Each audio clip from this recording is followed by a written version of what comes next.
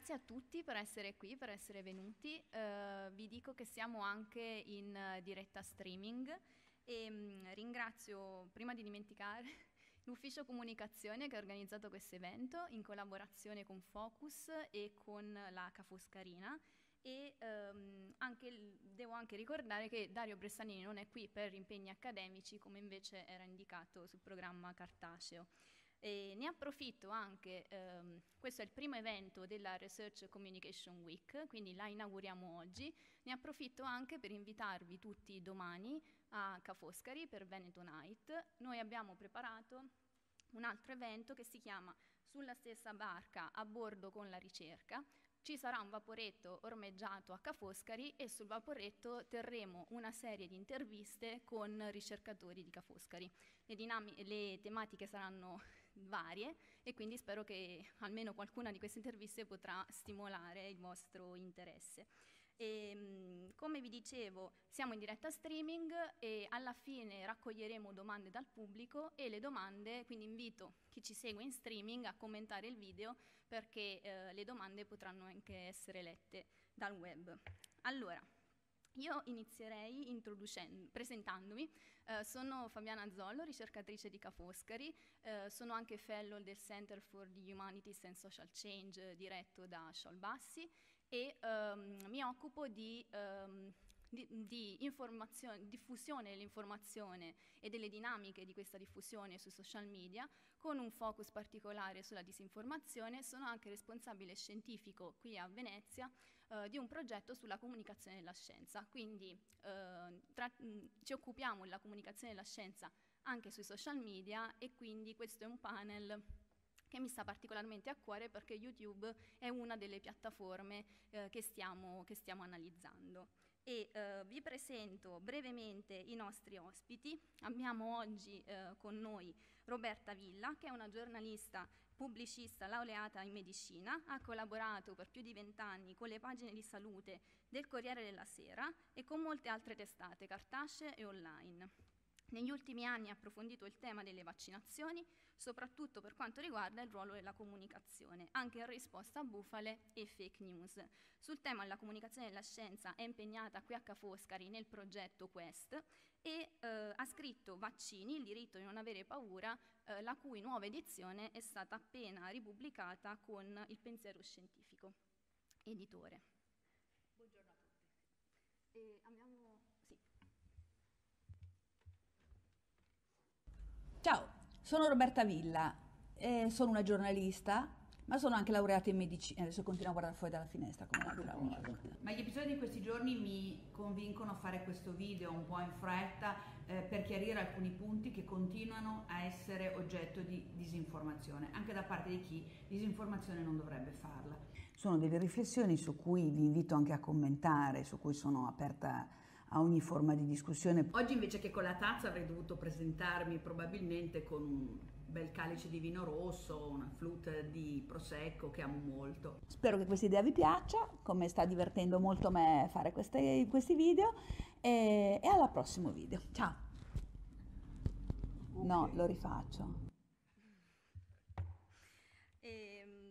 Ok, poi c'è con noi Adrian Fartade, 32 anni, laureato in storia e filosofia presso l'Università di Siena con un percorso in scienze ed astronomia. Si occupa di divulgazione scientifica a partire dal suo canale YouTube che conta, conta oltre 150.000 iscritti. La sua missione è fare appassionare la conoscenza anche più resti, con un occhio di riguardo per le nuove generazioni. All'attivo due libri pubblicati con Rizzoli, A piedi nudi su Marte, Viaggio nel sistema solare interno, uscito nel 2018, e Su Nettuno piovono diamanti, avanti, uscito il, il, nel marzo del 2019. E abbiamo un breve Ciao. video anche per Adrian. Eccoci. Nella Via Lattea c'è la scena di un crimine. Vediamo delle cicatrici, un po' di morte e distruzione nei video anche quando non ve lo aspettate. Quindi, ah! E poi parli di morte e distruzione, di cosa mangiavi te, sangue, eccetera, cose, e poi fai wow, minaccioso alla fine. E sono tutti contenti. Bernardo è un mammut. Eccoci qui, lupi manari, nella notte, sotto la luna. La diversità animale è importante per poter permetterci di avere un ecosistema in cui noi stessi possiamo sopravvivere.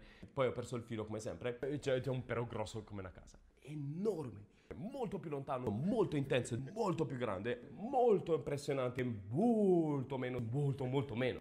Wow. Eh. Hmm. Dopo vi racconto. Grazie.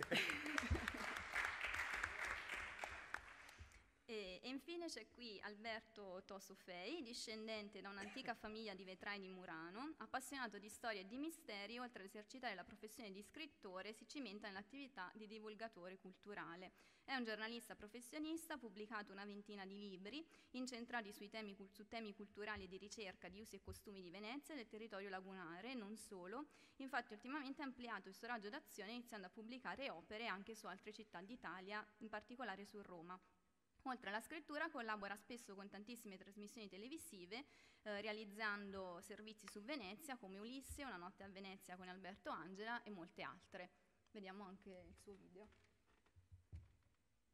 Ma come diavolo faceva una povera ragazza del Settecento a dire a tutti che quel giorno era pronta a spaccare il mondo? È semplice, si applicava un neofinto sulla fronte. La moda della zeppa va e viene ma ricordate la prossima volta che ne vedrete una in una vetrina, che non sono nate negli anni 70, ma a Venezia, nel corso del Rinascimento. I ponti presero addirittura il nome di alcune leggende, come il ponte dell'Ansoe o il ponte di Donna Onesta o il ponte dei Maravege. Calle Varisco non può essere percorsa da un assassino. Qualora eh, ciò dovesse accadere, i muri si restringerebbero fino a stritolarlo. Strana città è Venezia, si tarocca una foto non per mettere un cowboy con gli indiani in una gondola, ma per ricostruire il campanile retrostante. Grazie, Ok, quindi mh, vi abbiamo mostrato dei brevissimi video introduttivi, ma io farei raccontare a loro, che sono i protagonisti, come mai sono su YouTube, cosa li ha spinti a, a diciamo, a cominciare questa attività su questa nuova piattaforma e partiamo da te Roberta.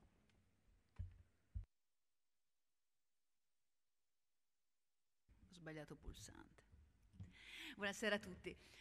Cosa mi ha spinto? Chi mi ha spinto? Io ho avuto Dario Bressanini, qualcuno di voi lo conoscerà, il nostro amichevole chimico di quartiere, che è stato un po' la pripista di molti noi eh, divulgatori eh, sui social che eh, continuava a tormentarmi veramente, a insistere dicendo che YouTube era un terreno in preda, diciamo, eh, agli antivaccinisti, che c'era tantissima disinformazione in campo medico e che quindi bisognava scendere in campo. Io ero un po' restia per varie ragioni, prima di tutto perché sono una assolutamente antitecnologica e eh, mi trovavo in difficoltà. Poi avevo i miei figli che mi dicevano no, ma se fai una cosa la devi far bene, non come fai tu le cose, eccetera, e quindi eh, recalcitravo un po'.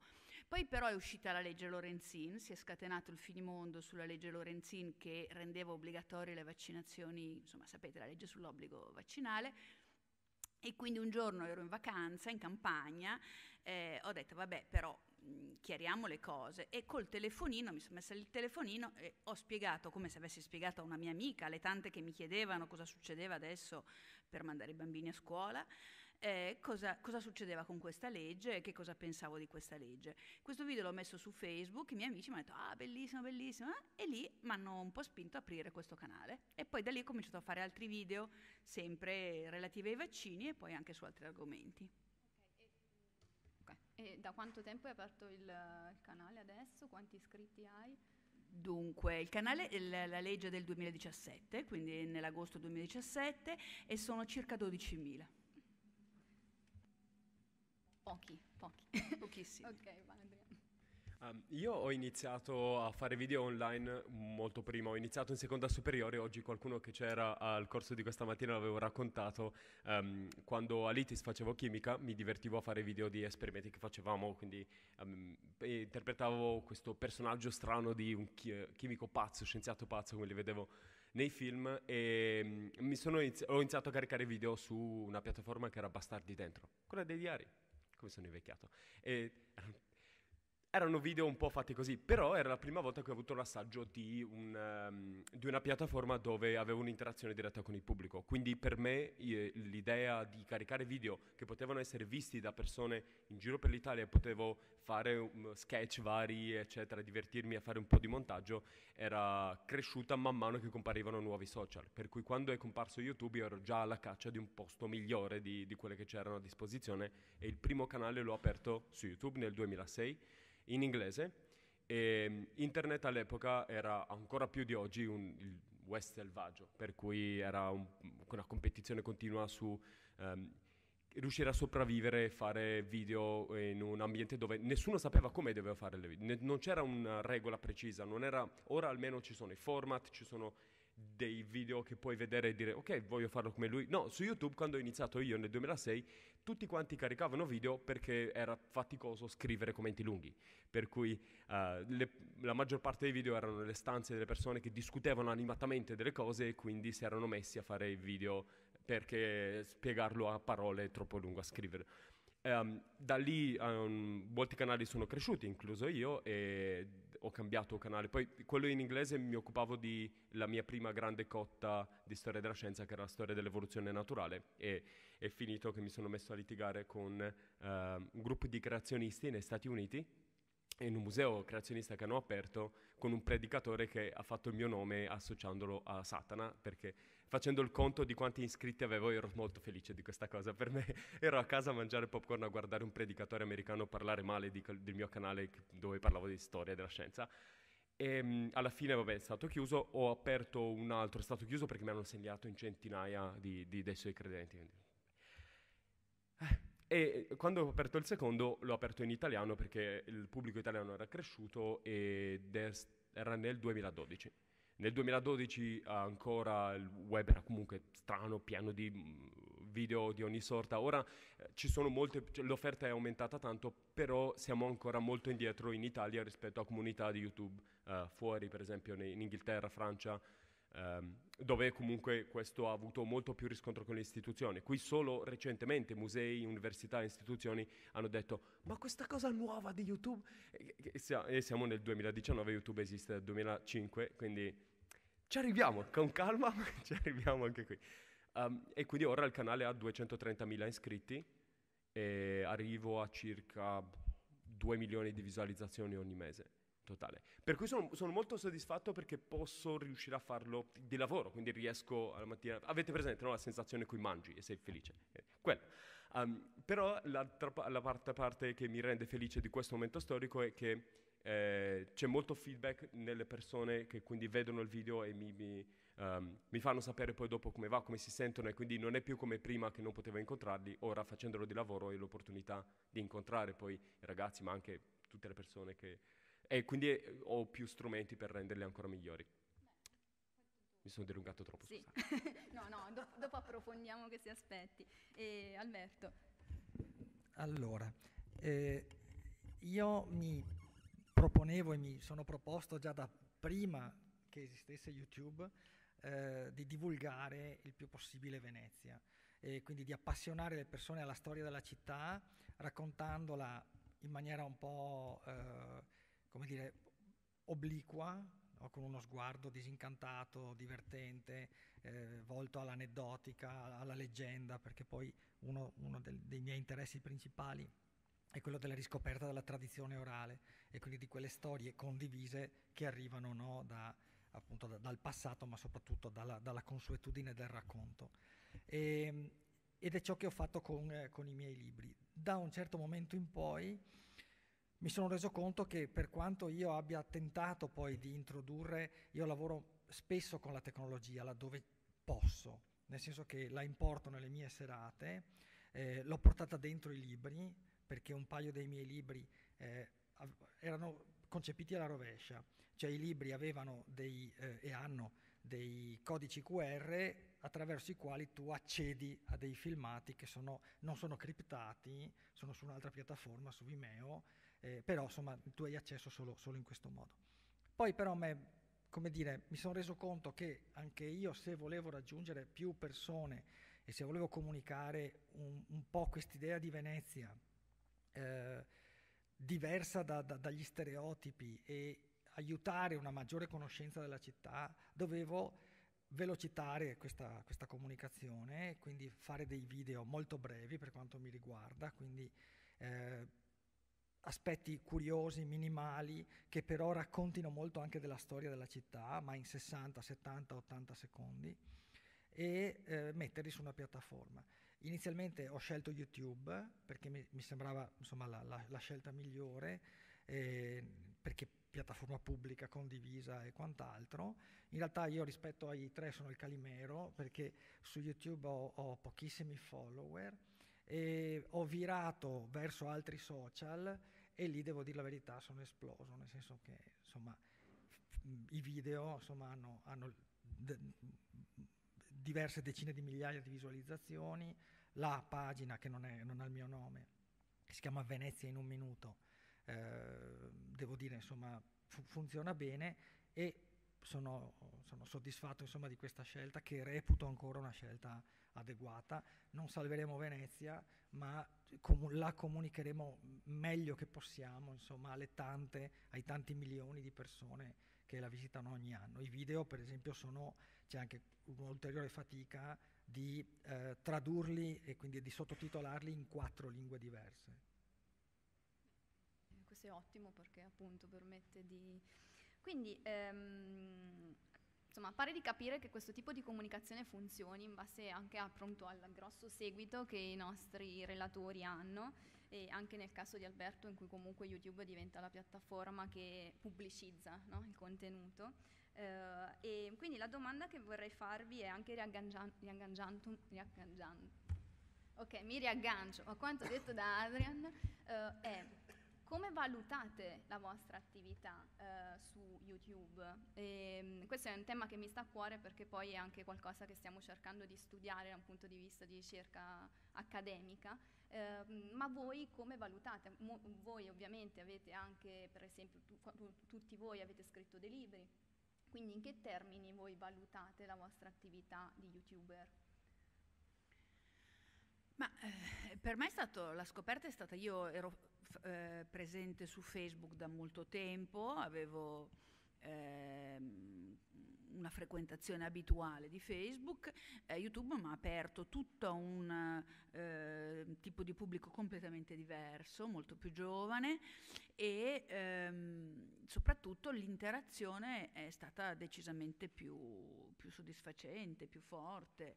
Eh, diciamo che mentre su Facebook avevo più un rapporto con mm, mm, persone, diciamo, con amici, quindi magari un confronto più o meno alla pari, lì eh, ho riconosciuto che le persone mi ascoltavano, che interessava, che cercavano delle buone informazioni. Quello che appunto aveva detto Dario all'inizio era vero. Eh, molte persone erano disorientate e cercavano veramente eh, una risposta a tante domande, anche appunto sul tema dei vaccini su cui era stata fatta tanta comunicazione ma anche molto contraddittoria, c'erano eh, molte notizie false che circolavano, eh, ho colto nelle persone una notevole soddisfazione nel riconoscere una... Eh, nel darmi fiducia, ecco, e quindi è stato uno di grande soddisfazione da questo punto di vista. Um, sì, eh, ci sono un sacco di fattori che vanno eh, all'interno della valutazione che dipendono dalle statistiche, ma quella è la parte più noiosa, quindi la, ve la trascuro. Però se vi piacciono le statistiche, c'è un... Beh, allora, giusto per annoiarvi un po', um, per esempio posso vedere nel pubblico quale percentuale maschile, quale femminile, qual è l'età, a che ora guardano, ora sembra uno stalker, però è quello che ti dà un'idea di che tipo di pubblico ti sta guardando, quando e come interagisce. Um, quindi immaginate, voi che lavorate sui giornali, quelli in, in carta, roba insomma, di un tempo. Immaginate se poteste sapere uh, di ogni singolo lettore a che ora ha letto l'articolo, quando si è fermato durante l'articolo, uh, quali sono le interazioni che ha avuto, quanto l'ha condiviso, a chi l'ha fatto vedere, uh, che fascia di età, cioè, quanto riuscireste con queste informazioni poi ad avere un'idea di quanto effettivamente il vostro pezzo ha funzionato o no, o che tipo di impatto ha avuto?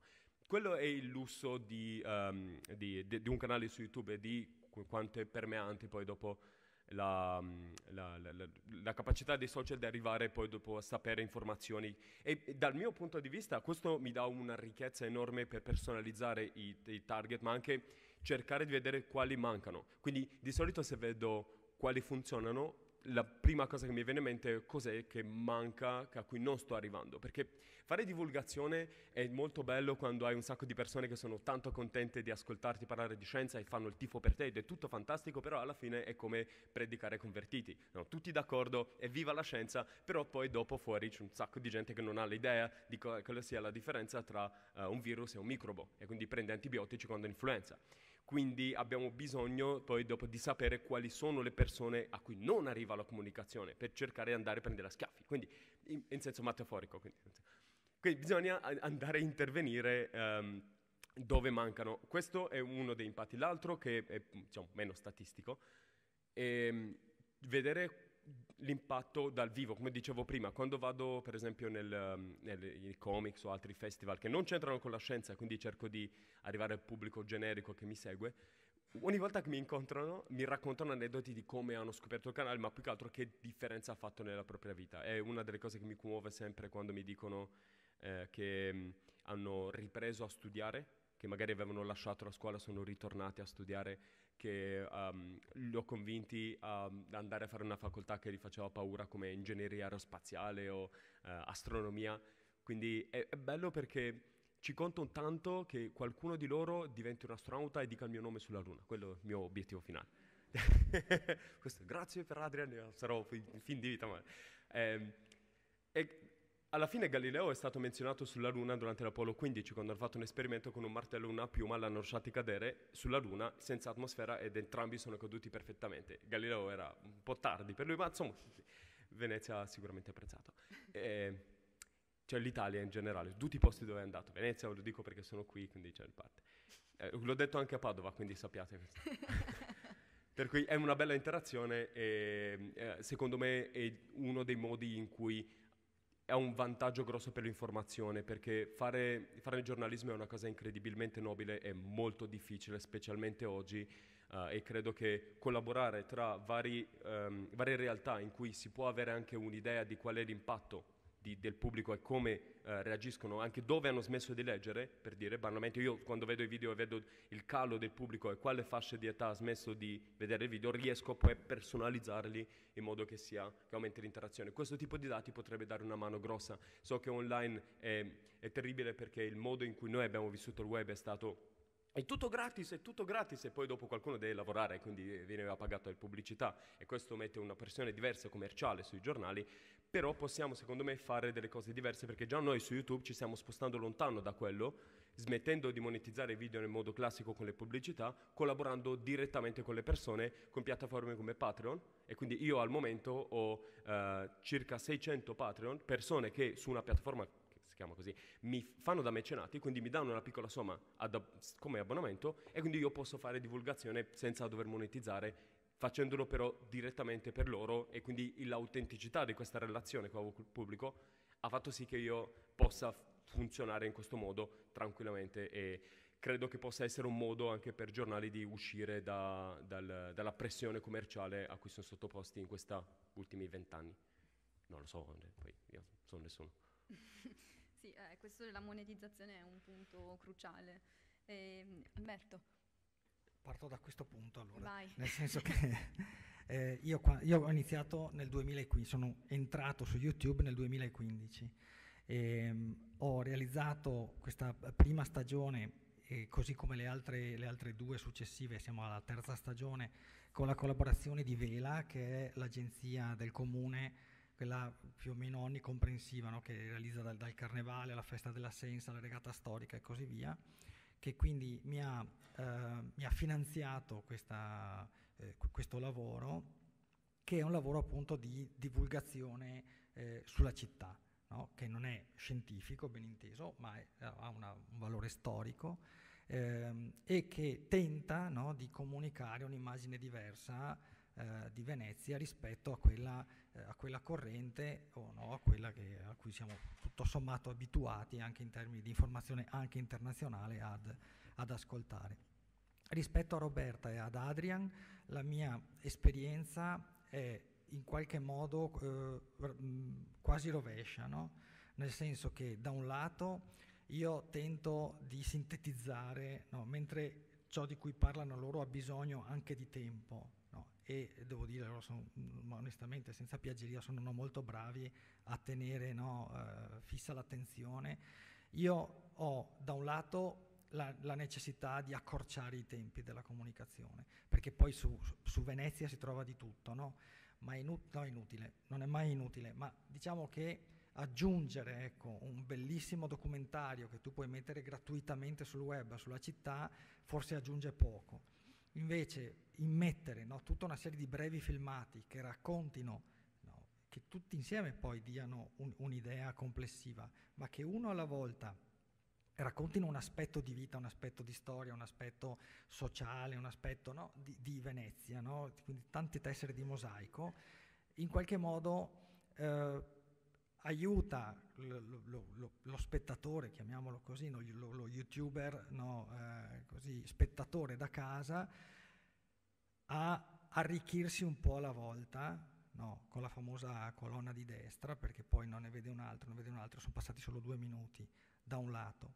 E ehm, dall'altro la tipologia della mia comunicazione, come si è un po' intravisto, è di carattere un po', un po diverso, nel senso che eh, è costruita in modo un po' giornalistico. Quella è la mia formazione, sono stato eh, anche giornalista televisivo nella mia vita professionale e quindi ho un operatore di ripresa, c'è un montaggio, ci sono im- cioè, le immagini di copertura, è come se fosse un lungo servizio giornalistico sul serio per raccontare però no, una, un, una storia.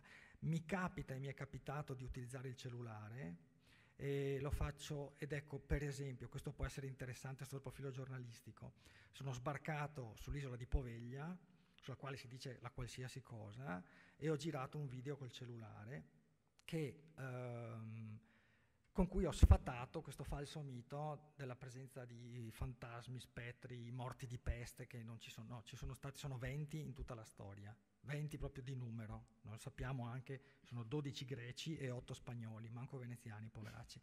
Sul serio, ghetto, eh, ghetto, scusatemi, lazzaretto nuovissimo. Ecco qui. Per fare questa cosa ho girato in giro per l'isola, questa cosa devo dire anche inaspettatamente, ma molto piacevolmente, è esplosa, nel senso che poi appunto, dicevo, ho fatto anche il lavoro contrario perché inizio su YouTube e poi, come accennavo prima, mi trasferisco su altre piattaforme e devo essere onesto, l'ho messo su Facebook e è andata sopra i 100.000 insomma in due giorni, ecco.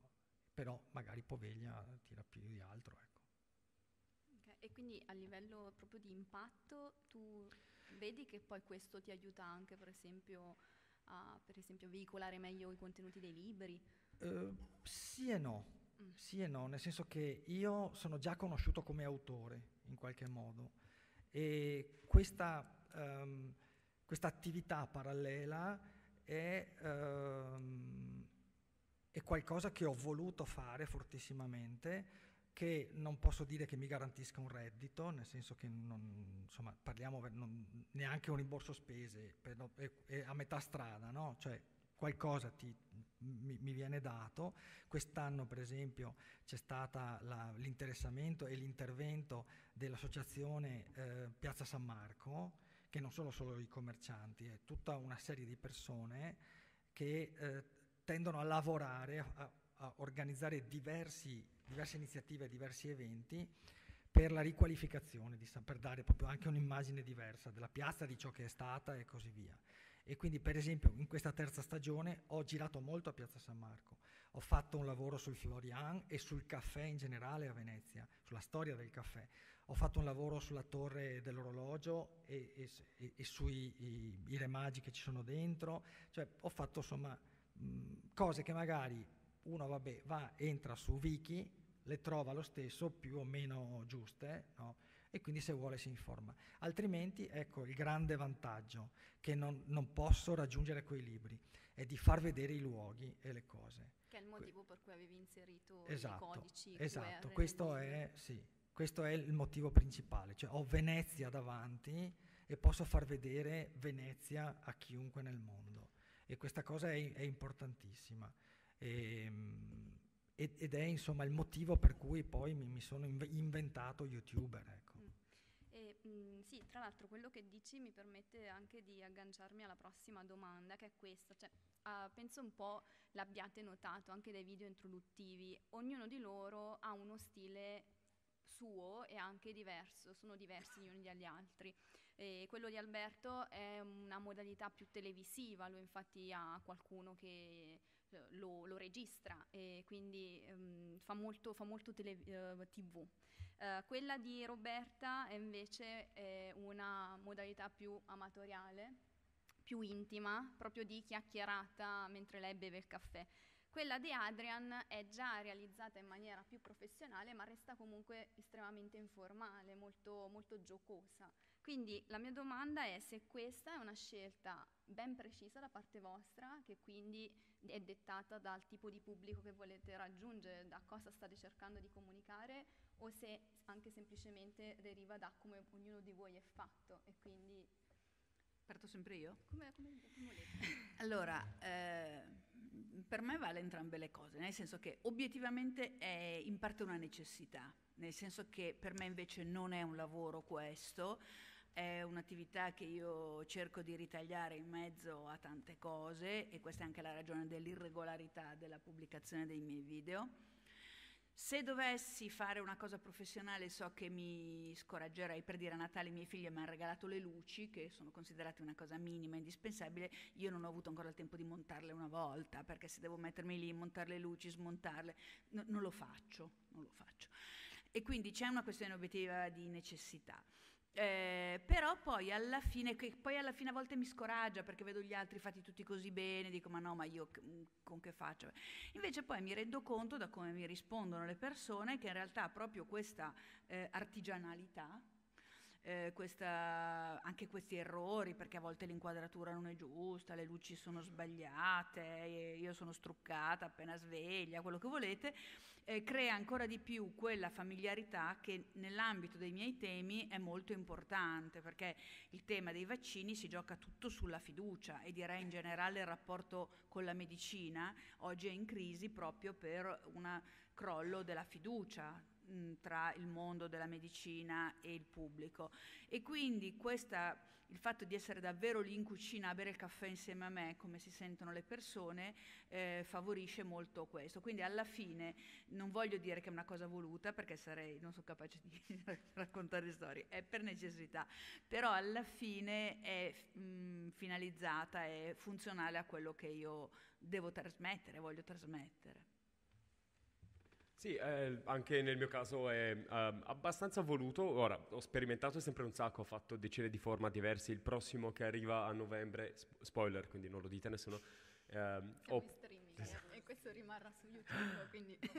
Beh, tanto comunque non, non, nessuno lo deve menzionare. Mi raccomando, um, ho preso uno scheletro uno scheletro grande che si può mettere in varie posizioni e con lui approfondiremo temi riguardo a gente morta uh, in vari modi e anche lati tipo da piccoli brividi della scienza. Uh, la parte bella, divertente, ludica se vuoi di, di YouTube è um, che permette di dare sfogo al lato più creativo degli umani. Non è che YouTube è magico per qualche ragione, sono gli umani che sono meravigliosi. Uh, è quello che cambia. La, I giornali hanno prodotto, se guardate nella storia, una marea di format meravigliosi. Sono stati sempre tra il 7 e 800 pieni di uh, forme di arte che non avevano alcun spazio. I fumetti sono iniziati grazie a voi. Uh-huh, grazie perché mi avete migliorato la vita grazie a, a questa invenzione. Quindi um, alla fine i nuovi media che compaiono offrono un nuovo spazio per sperimentare, quindi uh, le persone poi dopo inventano di spontanea volontà uh, cose nuove, come è successo poi con, la, con, il cinema, come è successo con la radio, come è successo con la tv. Uh, ho avuto l'opportunità di conoscere da poco, eh, cenare insieme con Piero Angela, questa cosa ancora mi fa venire pelle d'occhio, ma comunque lui mi raccontava che quando ha iniziato ha avuto, fatto molta fatica perché non riusciva a convincere la RAI a fargli fare le cose. La RAI continuava a dirgli che Super Quark finirà da lì a poco. Uh, e quando ha fatto quella trasmissione, vi ricordate in mongolfiera con il computer grafica? Quella era una cosa incredibilmente punk all'epoca. Eh, era, era, ha avuto un impatto enorme, per cui io cerco non tanto di fare qualcosa apposta di un singolo format, ma um, la- sperimentare e cercare nuovi modi in cui posso sfruttare al, al massimo YouTube o altri social per ehm, dare sfogo a creatività e in generale coinvolgere eh, la scienza nelle cose che faccio, perché il, il problema che ho avuto crescendo è che ehm, io mi sono appassionato all'astronomia grazie a Jack London, che neanche parla di astronomia, perché parlava di paesaggi incredibili dell'Alaska, posti strani, eh, con, alla fine creava un'avventura con un pezzo di un albero, un lupo, un, un, un marinaio sfigato e poco più, neve, tanta neve. E leggevo questi romanzi e, e traspariva tutto il senso di avventura, meraviglia di questi posti, nonostante fossero così piccoli. E quando poi dopo andavo a vedere la storia della scienza, il modo in cui veniva raccontato, tu- la Luna, che era piena di posti che nessuno aveva mai visto, che potevano ospitare milioni di storie, beh, non c'era niente, non c'era quasi niente. La- anche la fantascienza più ambiziosa era comunque ridotta a metafore navicelle spaziali, quindi navi, quindi eh, marinai. E quindi era frustrante perché di cose che per me erano incredibilmente divertenti, poi i, ehm, i- chi faceva divulgazione ne parlava in maniera noiosa e quindi mi ero ripromesso di cercare di fare qualcosa di diverso. Se ci pensate, quando ascoltate musica, non c'è nessun motivo per cui dovete conoscere per forza la teoria della composizione musicale, teoria della musica, sapere leggere le note per godervi un, un- un brano, no? Mentre per la, per la scienza, appena io inizio a far vedere i video, la prima cosa che il pubblico mi dice Ah, io con queste cose alla scuola non sono mai stato bravo. Ma chi se ne frega? Cioè, nel senso, non è che dice, "Eh, io non sono mai stato bravo con le note a musica, quindi non, non ascolto musica. Quindi cerco di ehm, giocare con la scienza perché c'è stato il tabù grosso che questo sminuisce l'importanza della scienza, invece secondo me la nobilita verso qualcosa che già facciamo di default da sempre, cioè comunicare. Noi continuiamo a pensare di reinventare l'acqua calda tutte le volte, ma alla fine quello che facciamo ora, di comunicare la scienza, tutti e tre in modi diversi, è quello che facevano i bardi nel Medioevo. Quindi secondo me la cosa più vicina a quello che facciamo noi è quello che fanno i bardi, perché i bardi prendevano le storie vere e per raccontarle alla gente, così sapeva che stava succedendo in giro, le mettevano sotto forma di musica perché erano più facili da raccontare, da ricordare e avevano un impatto emotivo e quindi ti- ti rimanevano nella mente delle persone. Quindi noi fondamentalmente facciamo quello. Abbiamo eh, l'importanza delle notizie che devo- devono sapere il pubblico e, noi come umani, di- quindi tutti quanti coinvolti, cerchiamo disperatamente, generazione dopo generazione, in che modo possiamo comunicare al meglio, perché siamo delle schiappe a sopravvivere e se non riusciamo a sopravvivere tra di noi comunicando, che è la nostra unica skill che ci ha sempre contraddistinto nel mondo animale, quindi lavorare in gruppo, è finita, è, è tutto finito. E quindi avendo problemi come il cambiamento climatico, se non diventiamo bravi a comunicare tra di noi e raccontarci storie, addio e grazie per tutto il pesce. Alberto. O a nuotare meglio. Questo era riferimento a Guida Galattica per autostoppisti. E io, boh, nel senso che eh, ho, ho iniziato facendo quello che sapevo fare. Ehm, io, come vi dicevo, ho lavorato tanti anni in televisione e quindi ho pensato che la maniera migliore per, eh, per riuscire a comunicare fosse quella appunto di stare nei luoghi facendoli vedere e raccontandoli. Prima vi accennavo al discorso dei libri, no? il paradosso è che per esempio eh, uno dei miei primi video più efficaci non è su Venezia ma è su Roma, perché scrivo questo libro su Roma e devo parlare ehm, della prospettiva creata da Borromini ad- all'interno di Palazzo Spada. E, mm, all'interno di questo cortile c'è questa galleria bellissima che sembra, sembra lunga 40 metri, che è una statua gigantesca alla fine di questo giardino e che in realtà è, è- è solamente eh, mm, stretta, allargata, insomma è tutto un gioco prospettico per cui sono 8 metri che sembrano 40, la statua che è in fondo è alta 50 centimetri, ma tu non te ne accorgi finché qualcuno non entra in questa galleria, che è chiusa, nel senso che c'è una catena, non è che si, si può andare e venire. Quindi ho fatto, tutto, ho fatto la domanda proprio al ministero, insomma ho ottenuto e ho girato questo video all'interno della Galleria Borrominiana spiegandone il funzionamento. no? Io l'ho descritta anche nel libro, ho spiegato no, che è un effetto ottico, però l'idea di essere lì e farla vedere è, è proprio un'altra cosa, no? Cioè, e non solo la fai vedere ai tuoi amici, non so, che sono lì con te, la fai vedere ai tuoi amici che ti guardano da casa in qualsiasi momento no, e in qualsiasi luogo si trovino. In tal senso, ecco, eh, ho, ho unito ciò che sono a ciò che mh, mi, mi, piaceva fare e l'ho fatto come so fare. Poi eh, anche io ho, ho, un po' aggiustato il tiro. Primi, la prima stagione di Venezia in un minuto, per quanto bella, la amo molto, però ha dei titoli di testa, per esempio. No, abbiamo voluto inserire una specie di sigletta che dura 4 secondi, non è che però già appesantisce, no? E quindi poi adesso non esiste più. Cioè, inizia il video, c'è un titolo no? e, e, si procede, perché anch'io imparo mo- momento per momento. Ecco. Però mh, direi che non è, non dico che non è stata una scelta, ma era l'unica cosa che potessi fare. Ecco. Così, in questo modo, perché sono così e perché le, la condizione, insomma, è in qualche modo... Eh, l'oggetto di cui parlo, che in questo caso l'intera Venezia, mi impongono no, certe strade, dal mio punto di vista. A, insomma, a prescindere dal, dal fatto che può, può, essere narrata da chiunque e in qualsiasi modo, no, che, no, che, non è il mio. Eh, no, vabbè, certo, però effettivamente i vostri contenuti in questo si differenziano. Loro cercano di trasmettere delle conoscenze, tu anche però mostrando un luogo che altrimenti seduto alla scrivania di casa risulterebbe un po' Mm, ok, adesso io vorrei approfittare di quest'ultima parte eh, di, per, per, approfondire un po' con ognuno di voi alcuni aspetti legati proprio alla tematica che voi affrontate. E partirei da, da, Roberta che quindi come sapete si occupa principalmente di, si è occupata principalmente negli ultimi anni di vaccini.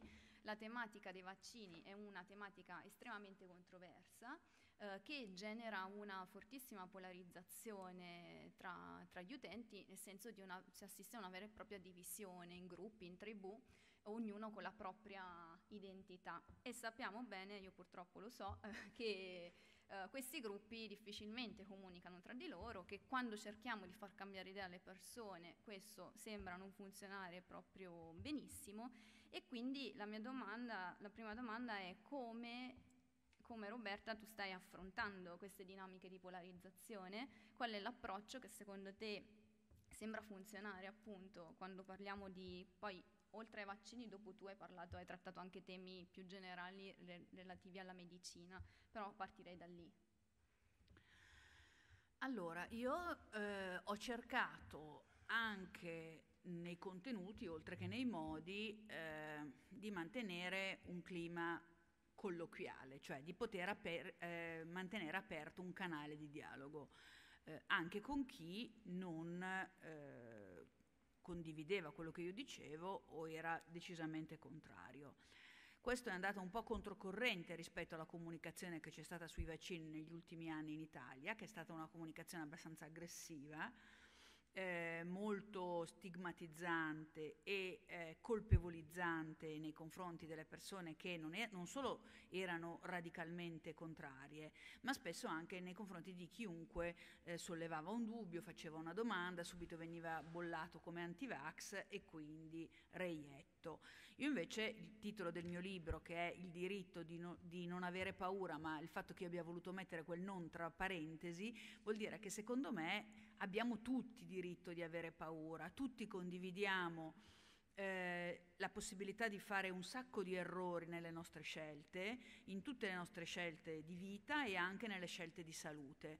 Quindi quello che dobbiamo fare è cercare di aiutarci a capire dove sono i meccanismi mentali che ci fanno fare certe scelte e, ehm, ed evitarli. Io non penso che sia solo un problema di conoscenza, cioè che basta prendere le persone, informarle su che cos'è un vaccino, cosa fa, eccetera, perché penso che la nostra ostilità nei confronti dei vaccini derivi da tutta una serie di bias cognitivi, di questioni emotive, di paure innate eh, a volte anche giustificate dall'evoluzione, eh, che non possono essere facilmente eh, scalfite semplicemente perché questo lo dico io e basta, è così. Penso che mettersi in cattedra in queste cose sia assolutamente controproducente, soprattutto perché le, la ricerca ci dice che eh, mol, la gran parte insomma, delle persone ostili nei confronti dei vaccini non sono le persone più ignoranti, ma anzi quelle più colte, cioè quelle che hanno più possibilità di crearsi una propria idea, di informarsi e poi mancando di tutto un quadro generale, rischiano di fare degli errori.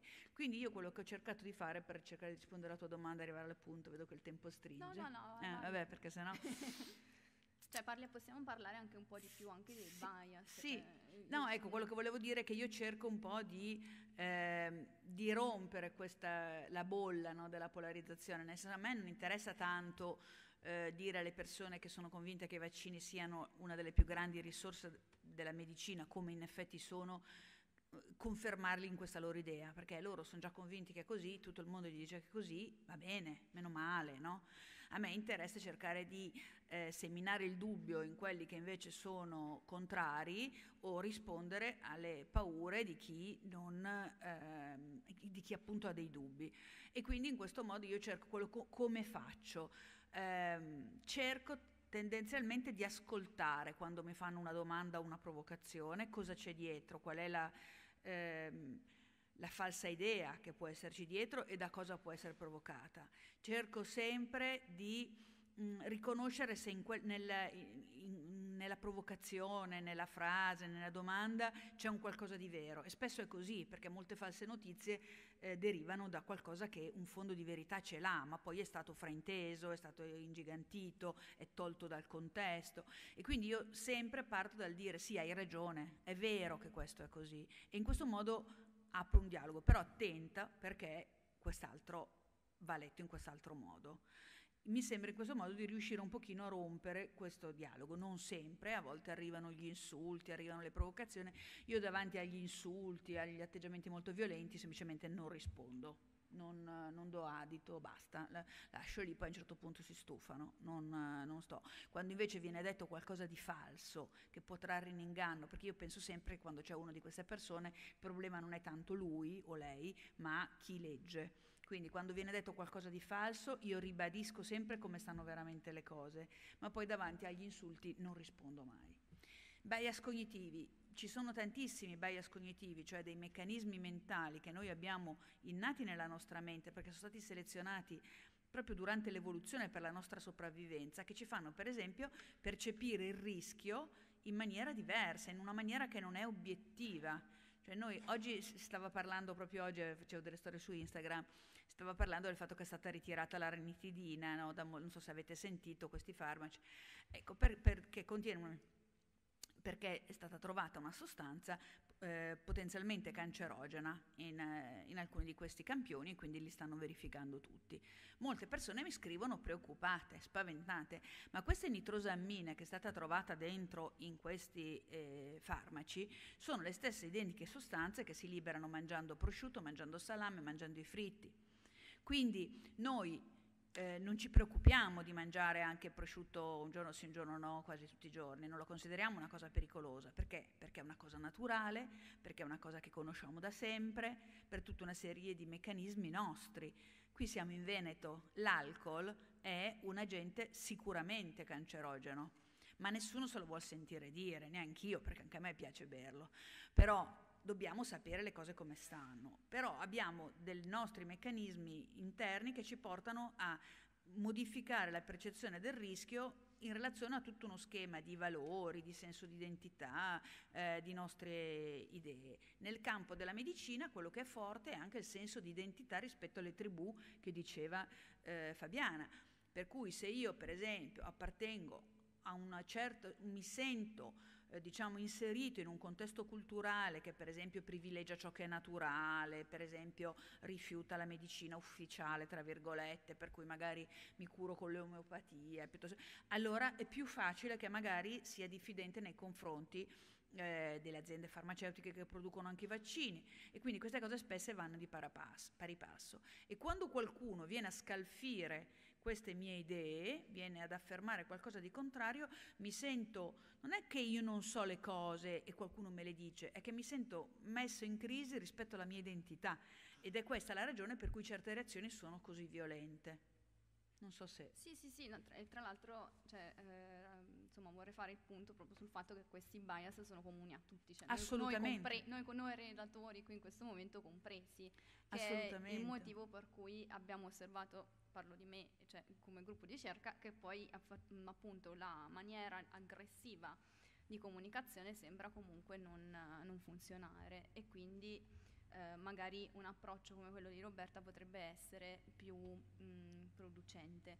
E, mh, invece Adrian, cambiamo, usciamo da argomenti un po' più tristi e, e tu invece che sei nato come, potremmo dire, nasci come storico della scienza, mm-hmm.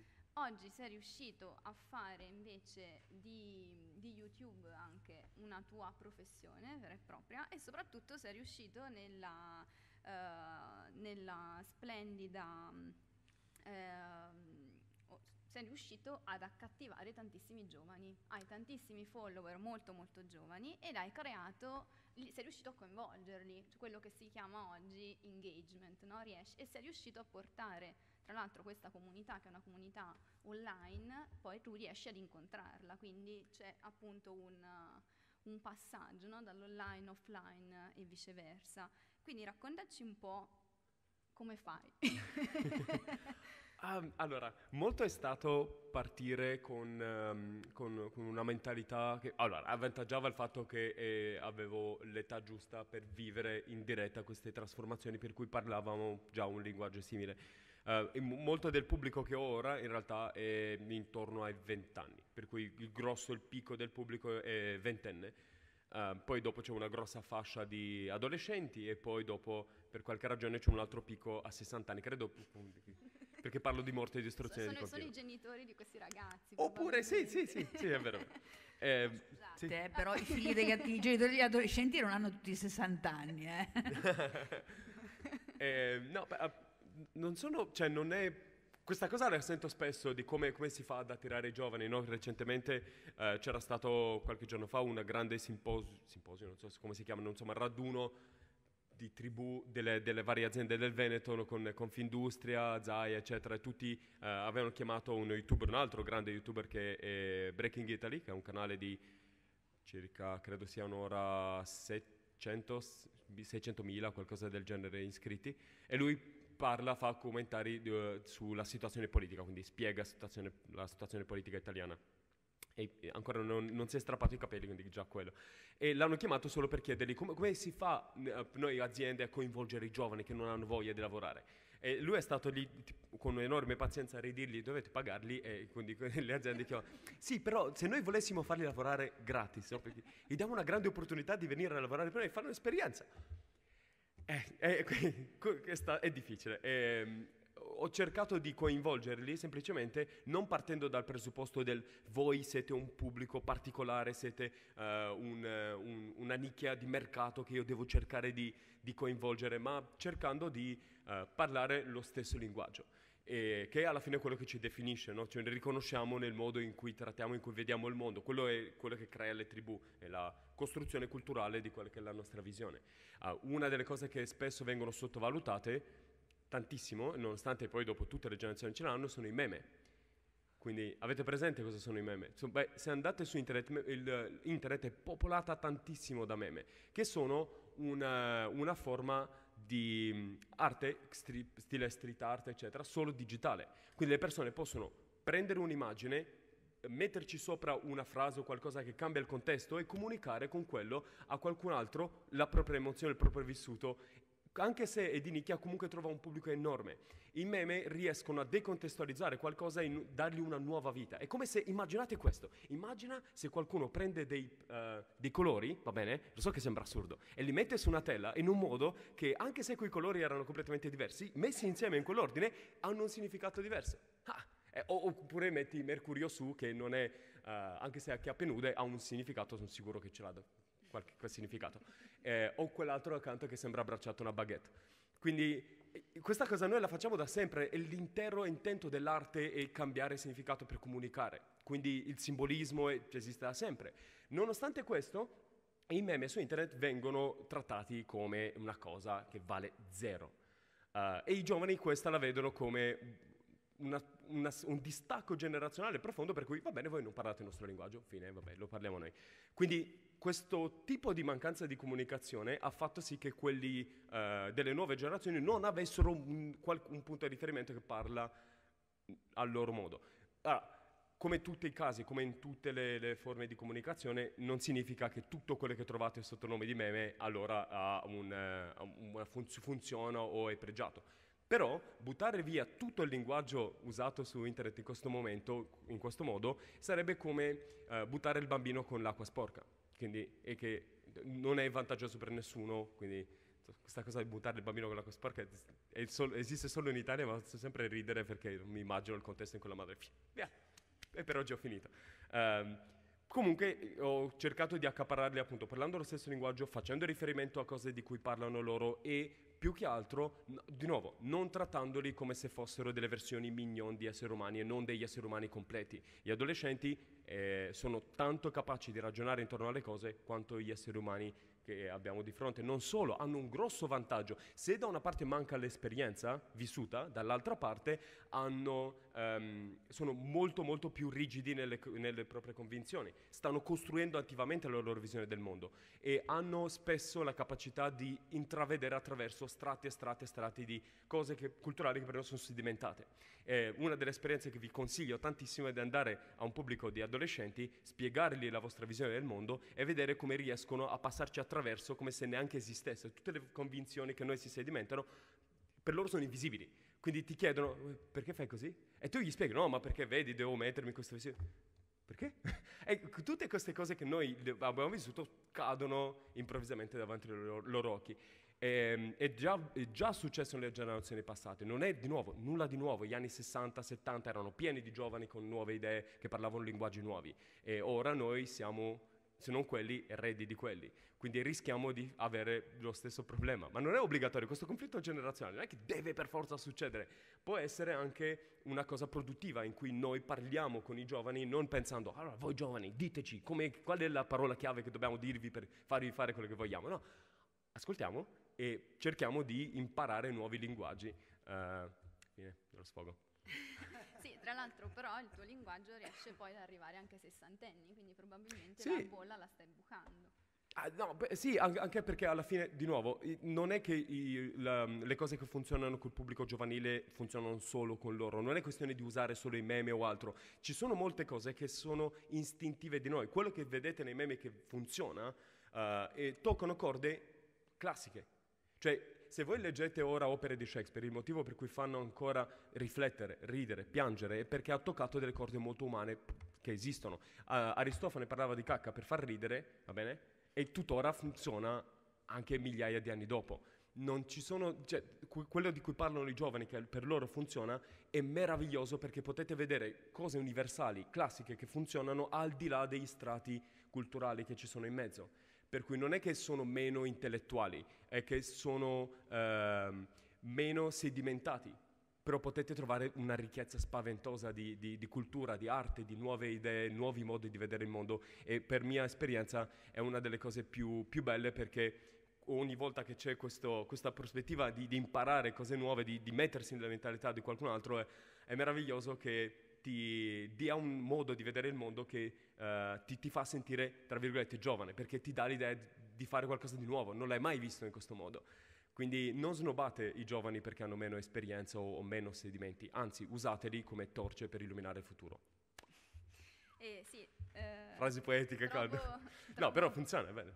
Trovo esemplare che entrambi abbiate parlato di ascolto, no? Quindi probabilmente questa è la ah, parola sì, sì. chiave ehm, anche se si comunica, che prima forse dovremmo partire dall'ascoltare. Alberto, ehm, tu invece nasci come uno scrittore e quindi la domanda che vorrei farti è, hai tra l'altro anche la difficoltà, Roberta tratta dei temi controversi, quindi eh, Adrian eh, ha tutta la sua maniera di, di, trattare tematiche anche affascinanti per alcuni versi, tu hai la difficoltà di dover rendere accattivante la storia, che spesso non è propriamente una delle tematiche eh, più affascinanti, la storia e la cultura. E quindi la mia domanda è come fai a trattarli, come sei riuscito a trattarli in maniera anche più leggera, se possiamo, se mi consentite il termine, e, se, e quindi come ti sei adattato da scrittore a questo nuovo mezzo. Allora, mh, mm, ce l'ho fatta perché eh, ho utilizzato, ce l'ho fatta, calma, insomma, con i libri ce l'ho fatta, mettiamola così, su quello non ho dubbi, ecco. Eh, nel senso che ho eh, interpretato la storia come Adrian sta interpretando la scienza, facendo il giullare, no? Con tutto, cioè, assolutamente no, cioè, il bardo di cui si parlava prima, ecco. eh, nel senso che eh, ho descritto Venezia, ho descritto altre città, ho descritto la storia passando attraverso le storie, attraverso la leggenda, attraverso la, eh, ciò che, di cui facevo cenno prima, la riscoperta della tradizione orale e eh, tutto nasce in realtà da molto prima che io sia un essere senziente quasi, nel senso che io sono eh, originario dell'isola di Murano, a Murano eh, 50 anni fa era ancora possibile sentirsi raccontare le storie dagli anziani. Erano storie bellissime no? che hanno continuato a, ad albergare dentro di me per decenni finché non, non ho iniziato a studiare all'università. E all'università quanti più libri leggevo su Venezia, tanto meno vi ritrovavo queste storie meravigliose no? che avevano costellato la mia infanzia e mi chiedevo perché. No? Io capisco che se tu parli no, di, di, di Cadolfin, tu insomma, difficilmente puoi parlare in un libro di storia del fantasma di Cadolfin o della leggenda della dama decapitata e così via. Ecco. Però se quella leggenda è sedimentata, condivisa, addirittura riportata in testi storici, magari ottocenteschi o in cronache settecentesche, no? Perché non, no, non immettere questa, questa, scintilla in qualche modo? E così mi sono eh, in qualche modo assunto questo compito, no? con grande piacere devo dire, di eh, parlare della storia attraverso le storie, perché se tu parli, ecco, io prima parlavamo di, dei fantasmi di Poveglia, addirittura dicendo che a Poveglia non ci sono i fantasmi, no, tu puoi raccontare la storia di Poveglia, cosa che ho fatto in quel video, e quindi puoi raccontare co- come nasce. Ehm, civiltà parallela a quella di Venezia, comunità molto cara ai dogi, che addirittura andava a trovare il doge una volta l'anno, eh, esentata addirittura dalle tasse, e poi diventa monastero, e poi diventa sanatorio no? nel corso degli anni, fino a diventare il lazzaretto novissimo. E quindi puoi dire che i lazzaretti, no, 1423 il vecchio, il 68 il nuovo, no, lazzaretto invenzione veneziana, il nome lazzaretto deriva da Venezia, no, Venezia inventa la quarantena, a proposito di sanità peraltro, e, eh, e appunto nel 1793 no, arriva sta nave greca che porta formaggio, per inciso, anche se poco interessante forse, che ha questi marinai che sono mal- malati. Venezia, noi ricordiamo due grandi pestilenze, 1575-1630, il Redentore, la salute. Venezia viene colpita 69 volte dalla peste nel corso della storia. Quella è stata la penultima e nel 99, 1799, Venezia non è neanche più Venezia, l'ultima, 20 morti. Peraltro c'è una bellissima pietra nel ciò che rimane del cimitero di Poveglia in cui c'è scritto non scavate, qui riposano, riposano coloro che furono colpiti dal contagio in vita. Questa è una cosa molto suggestiva, la fai vedere, appunto, cioè la descrive una cosa, già così no, parlarne. La fai vedere, sta pietra tutta storta in mezzo al cimitero, dici cazzo no, ecco. E invece poi dici no, non ci sono fantasmi però è, un, è, un'isola che ha una storia straordinaria, quindi ecco che tu puoi raccontare la storia, no, raccontando le storie, puoi fare un lavoro sulla memoria, appunto, e la memoria, questa città che perde rapidissimamente memoria, no? la, la, Venezia di mio nonno e di mio padre, fatte salve le, le, le innovazioni tecnologiche, no? cioè la lavatrice, la televisione e così via, ma sono molto simili tra loro, socialmente, il tessuto sociale tiene ancora tra me e mio padre c'è una, una spaccatura, c'è una cesura mostruosa, no? che non è dovuta solo alla modernità, ma è dovuta ai cambiamenti che, insomma, non dico nulla di nuovo, che in questi ultimi 30 anni almeno no? sono intervenuti proprio a modificare il tessuto cittadino, che ha perduto memoria.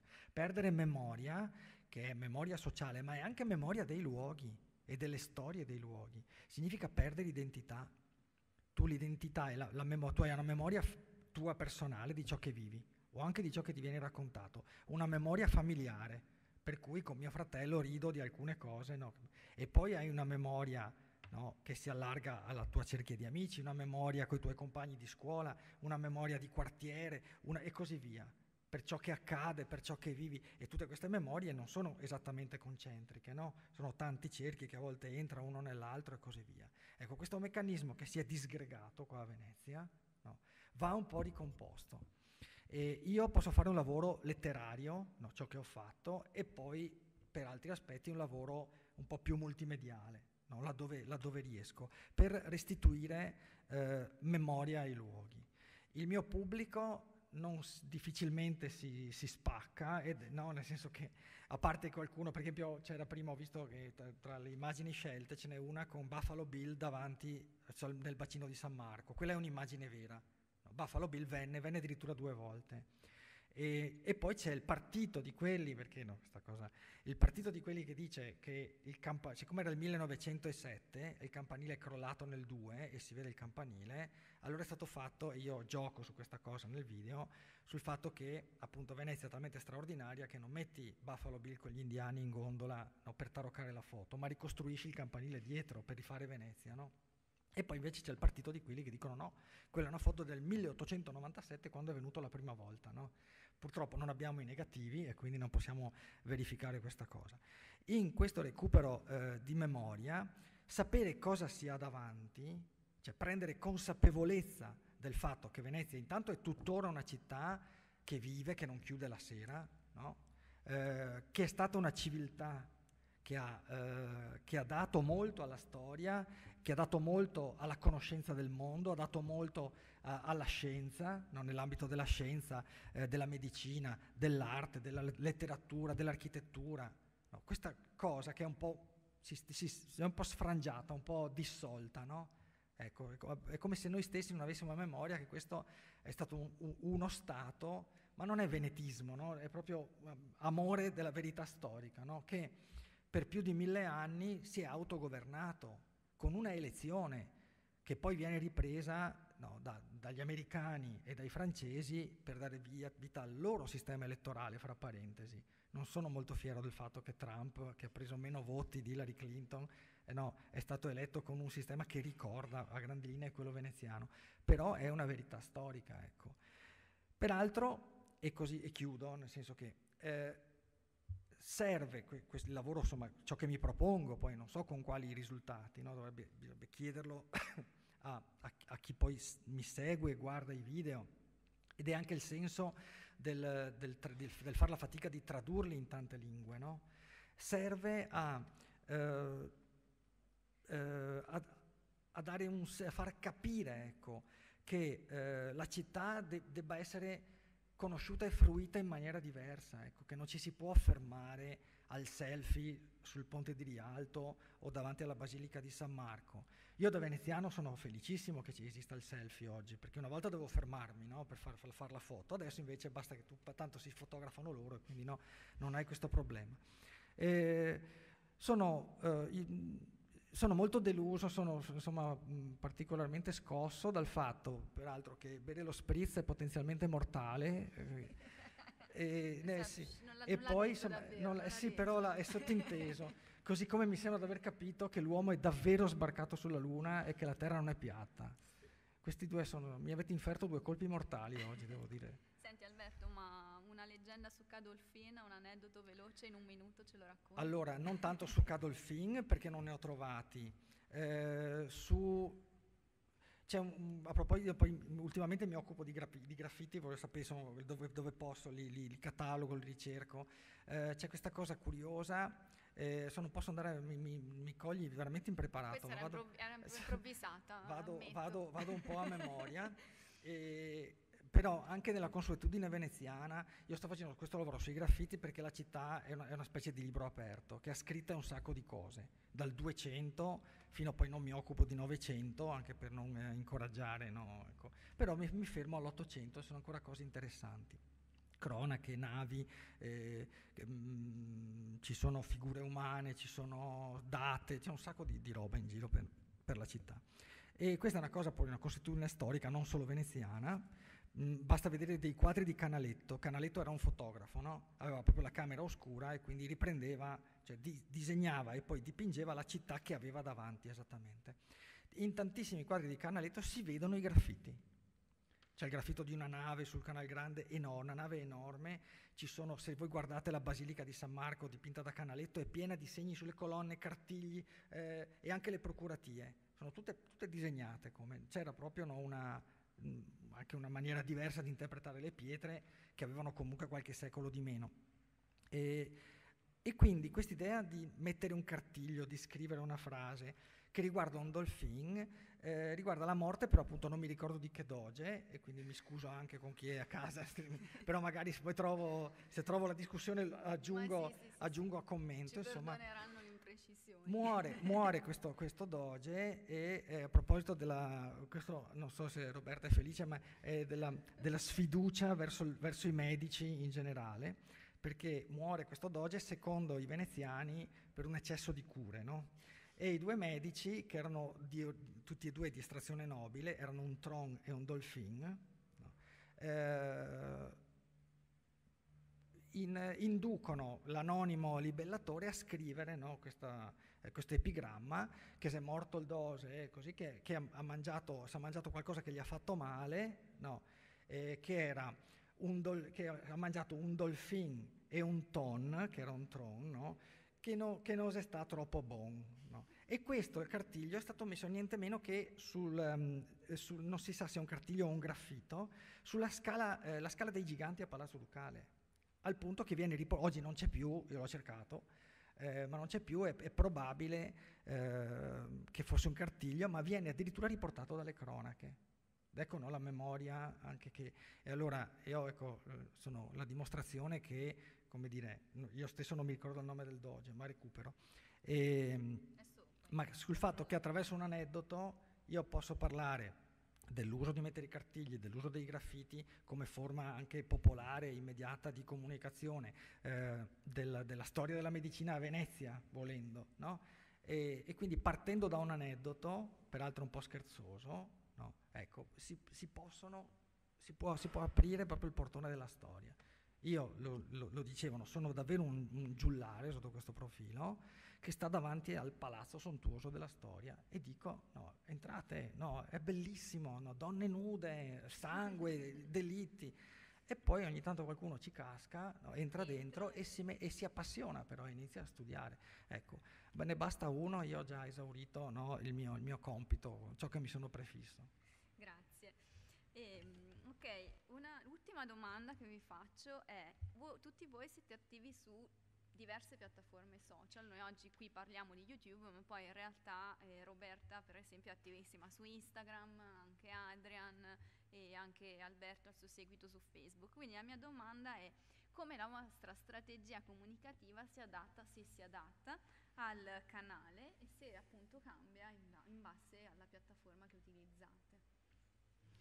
Allora, sinceramente io ho poca strategia perché non è proprio nella mia natura, però eh, sicuramente quando ho incontrato Instagram attraverso lo stesso sistema, cioè sempre tramite Bressanini che mi ha stressato perché andassi su Instagram, eh, ho trovato un canale più affine a questa mia mancanza di strategia, nel senso che nel mio passaggio da Facebook a YouTube da YouTube a Instagram, adesso infatti ho un po' trascurato YouTube, proprio perché Instagram mi dà ancora di più quella possibilità di un dialogo immediato, cioè io faccio la storia di pochi secondi, immediatamente mi scrivono, ma questo allora volevi dire così? No, volevo dire cosa, lo spiego subito, mi fanno un'altra domanda, mi portano su altre vie, diventa veramente uno scambio immediato. Eh, e quindi io mh, devo dire che in questo periodo privilegio molto Instagram eh, anche rispetto a YouTube, anche se capisco che invece sarebbe importante tornare a YouTube perché YouTube dà comunque la possibilità di un approfondimento diverso, cioè di un tempo di racconto più esteso, la possibilità di affrontare un argomento e di lasciarlo lì di più come riferimento anche per il futuro. È vero, anche su Instagram salviamo le storie, ma non è esattamente la stessa cosa, è sempre una comunicazione molto più immediata, molto più facile. Forse è proprio perché faccio fatica in questo periodo a star dietro ai, ai social che in fondo preferisco Instagram ma eh, credo che YouTube invece abbia una sua. E poi ho un pubblico molto diverso, seguendo le statistiche, come diceva eh, Adrian, eh, ho visto che su Instagram, per esempio, come peraltro è tipico, ci sono molte più donne e giovani donne, quindi a me seguono molte giovani donne su Instagram, mentre su YouTube sono più uomini. Ecco, questo per me è fondamentale, nel senso che parlando di vaccini, di questi temi, molto spesso le donne sono più interessate, anche se è sbagliato, perché io detesto l'espressione mammine informate, penso che entrambi i genitori poi in realtà si occupino dei figli e quando vado in giro a parlare di vaccini vedo che i papà sono spesso molto accaniti e molto eh, impegnati. Quindi, però è vero che comunque eh, rispetto alle donne c'è anche un, un feeling più immediato. E vabbè, poi è divertente perché loro mi fanno un sacco di complimenti, io parlo magari di cose complicate, loro mi dicono sì, però quella collana com'è bella. allora io mi diverto molto. Però eh, sono tutte piccole cose che, che contribuiscono a creare l'idea di un rapporto vero. Ecco, Diciamo che in questa escalation da Facebook a YouTube a Instagram mi dà l'idea che tutto renda sempre più facile questo rapporto, questo senso di fiducia, questo scambio immediato. Tu giustamente hai sottolineato il tema dell'ascolto, che credo che sia fondamentale. Penso che Instagram lo aiuti molto. Ed è sbagliato pensare che Instagram sia solo un posto dove si, si postano piatti eh, o belle fotografie. Eh, davvero, eh, proprio perché forse non è un pubblico direttamente interessato alla scienza, eh, io se uno per guardare Piero Angela vuol dire che decide di sintonizzarsi su Superquark e guarda Superquark. Su Instagram molte persone che ho incontrato io, che sono adesso miei follower, eh, non avevano un particolare interesse per la scienza, per la medicina, ma la medicina poi alla fine è qualcosa che riguarda tutti, tutti i giorni, la salute è qualcosa che riguarda tutti e quindi eh, poi alla fine le persone, persone che non sanno di avere questo interesse, ascoltandoti scoprono di averlo e quindi si allarga tantissimo anche la platea delle persone che possono eh, usufruire di una conoscenza più documentata, più approfondita e quindi anche questa mi sembra una bellissima sfida. Sì, io di... Allora, questa è la terza generazione di, di social, che, social, comunque aggregatori che vedo, per cui già mi sento vecchio, quindi tipo, guarda la novità di Instagram e io mi ricordo quando c'erano i forum, quindi quando si chattava su Mirk e altre cose preistoriche. O devi ricordare i trilli quando erano, io, qualche persone su MSN ti mandavano trilli. Comunque, Um, ogni generazione di social tutti più o meno fanno un discorso simile che questa cosa è nuova, bisogna imparare come si fa, come si gestisce, come si addomestica questo nuovo social e poi tempo qualche anno compare uno nuovo, per cui ti viene a chiedere vabbè ma il tempo che ho imparato a usare Instagram è venuto fuori una, nuova, un nuovo, una nuova piattaforma e poi mi tocca iniziare da zero e infatti non si fa così. Cosa, l'investimento che dovete fare non è tanto su imparare uh, a usare quel social in particolare, ma il social ha bisogno di alcune vostre skill in particolare, per cui l'investimento non è su, sul social, è su di voi. Quindi ogni social sfrutta qualcosa di particolare che voi già fate. Um, su Instagram potete parlare in una maniera diversa che su YouTube, su Facebook potete scrivere post molto più lunghi, potete andare più in dettaglio in un video in cui potete usare il linguaggio non verbale, mentre magari in scritto no. Quindi tutto il pacchetto di quello che vi serve c'è già compreso dalla nascita dentro di voi. Non, non serve che aggiungete pezzi add-on. Il hardware va bene, software va aggiornato, però per il resto va, va, andate benissimo. Um, non vi preoccupate se escono nuovi social, che tanto la parte di come si fa a postare si impara veloce. Preferisco YouTube, dicevo, perché principalmente ha un motore di ricerca integrato fantastico, che è quello di Google stesso, per cui le persone possono andare a cercare i temi che vogliono, mentre su Instagram su Facebook No, difficilmente qualcuno che vuole informarsi riguardo a Dune su Plutone va a cercare Dune su Plutone su Facebook o su Instagram, quindi c'è solo una memoria a tempo breve su altri social, mentre YouTube è come un gigantesco archivio e tant'è che uh, la fascia sotto i 25 anni usa YouTube molto di più di Google stesso per le ricerche. Per cui molti ragazzi sotto i 25 anni, quando devono cercare, che non so, come si fa una cosa a casa, vogliono riparare qualcosa, vanno a cercare su YouTube, vogliono sapere se un libro è bello, vanno a cercare una recensione, un film lo stesso, vogliono sapere una spiegazione su qualcosa, la cercano su YouTube. Non perché non vogliono leggere, è perché spesso la parte di lettura è in mezzo a siti che sono difficili da ricercare o siti che sono ancora fatti in maniera vecchissima, scritti in maniera vecchia, per cui è semplicemente la parte per loro funziona più velocemente, più simile al loro linguaggio. Um, anche perché poi dopo quello che comunico, quello che miro verso il loro, eh, funziona molto su YouTube perché posso mischiare sia un linguaggio in cui racconto tante cose complicate, ma anche immagini e video insieme, quindi vince abbastanza facilmente. Tipo, recentemente abbiamo visto una valanga gigantesca su Marte perché stanno cambiando le stagioni ed è fighissimo poter raccontare in diretta, poi far vedere mentre io sto raccontando come si muovono queste nubi di polvere che scendono a valle su un cratere di 80 km sulla superficie di Marte. O su, su eh, io abbiamo previsto l'esplosione di un vulcano di 200 km in diametro è del vulcano più grande che c'è nel sistema solare e quindi ora siamo tutti puntati a aspettare che esploda. È una luna di Io uh, che fa, ha più di 400 vulcani, ha un, un, intero oceano sotto la superficie solo di zolfo liquido. Cioè è, è, pieno il sistema solare di posti che sono meravigliosi per conto suo, quindi cerco di sfruttare YouTube per um, mettere insieme tutti gli elementi che possono essere da suoni a musica a immagini um, e per me ora è il posto migliore che è un po' lo zeitgeist del momento storico, quindi racchiude tutto, anche con il motore di ricerca. Non so quanto durerà, per cosa succederà in futuro, però quello che, in cui ho grande speranza per il futuro è che ehm, la generazione di divulgatori che stanno nascendo ora, stanno crescendo grazie a YouTube, si stanno formando con delle skill che a prescindere da quello che verrà saranno fondamentali. E, ehm, viste le grandi sfide che abbiamo verso il futuro, sono, sono molto fiducioso. La, il mese scorso, una delle cose più importanti era il cinquantenario di. Era quest'anno, 1969-2019, 50 anni di.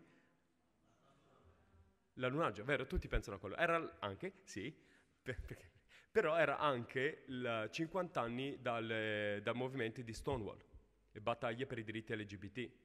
50 anni dopo abbiamo un mondo in cui uh, in, sta- in Italia, per esempio, puoi avere, non possiamo chiamarli matrimoni perché siamo pallosi come nazione, però poss- puoi fare un'unione in cui, a prescindere da quello che hai tra le gambe, puoi comunque stare con la- l'altra persona. Questo è un traguardo enorme, ci abbiamo messo solo 50 anni, stupisco di noi, siamo bravissimi. Pacca sulla spalla per noi dell'Europa.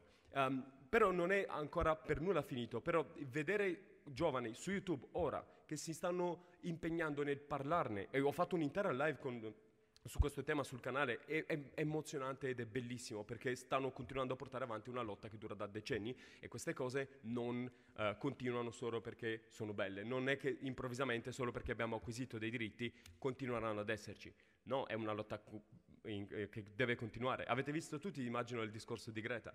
Questo è uh, all'ONU, è, è, molto, molto in linea con quello che dicevo della divisione generazionale dei giovani che vedono che son, subiranno le conseguenze di quello che noi non siamo riusciti a fermare. Quindi su YouTube questa cosa è fortissima. In Italia c'è un'intera mini comunità di ragazze di colore, bene, che parlano su YouTube di com'è difficile vivere se sei nero in Italia e tutto il razzismo che subiscono il modo in cui non sono rappresentate il fatto che in Italia da nessuna parte si riescono a vedere, nonostante siano tantissimi in tutto il perché sono, vivono qui, eh, studiano qui, sono, parlano la stessa lingua sì, esatto, è italiano al 100%, però nei media, nella, nel modo in cui rappresentiamo, non ci sono mai. E quindi se qualcuno si vede e non è bianco, si vede in una fiction italiana o altro, è per forza lo, il cliché, lo stereotipo. Loro si vedono eh, non rappresentati nella nazione in cui vivono e ghettizzati culturalmente, nonostante siano nati e cresciuti qui esattamente fanno la stessa vita.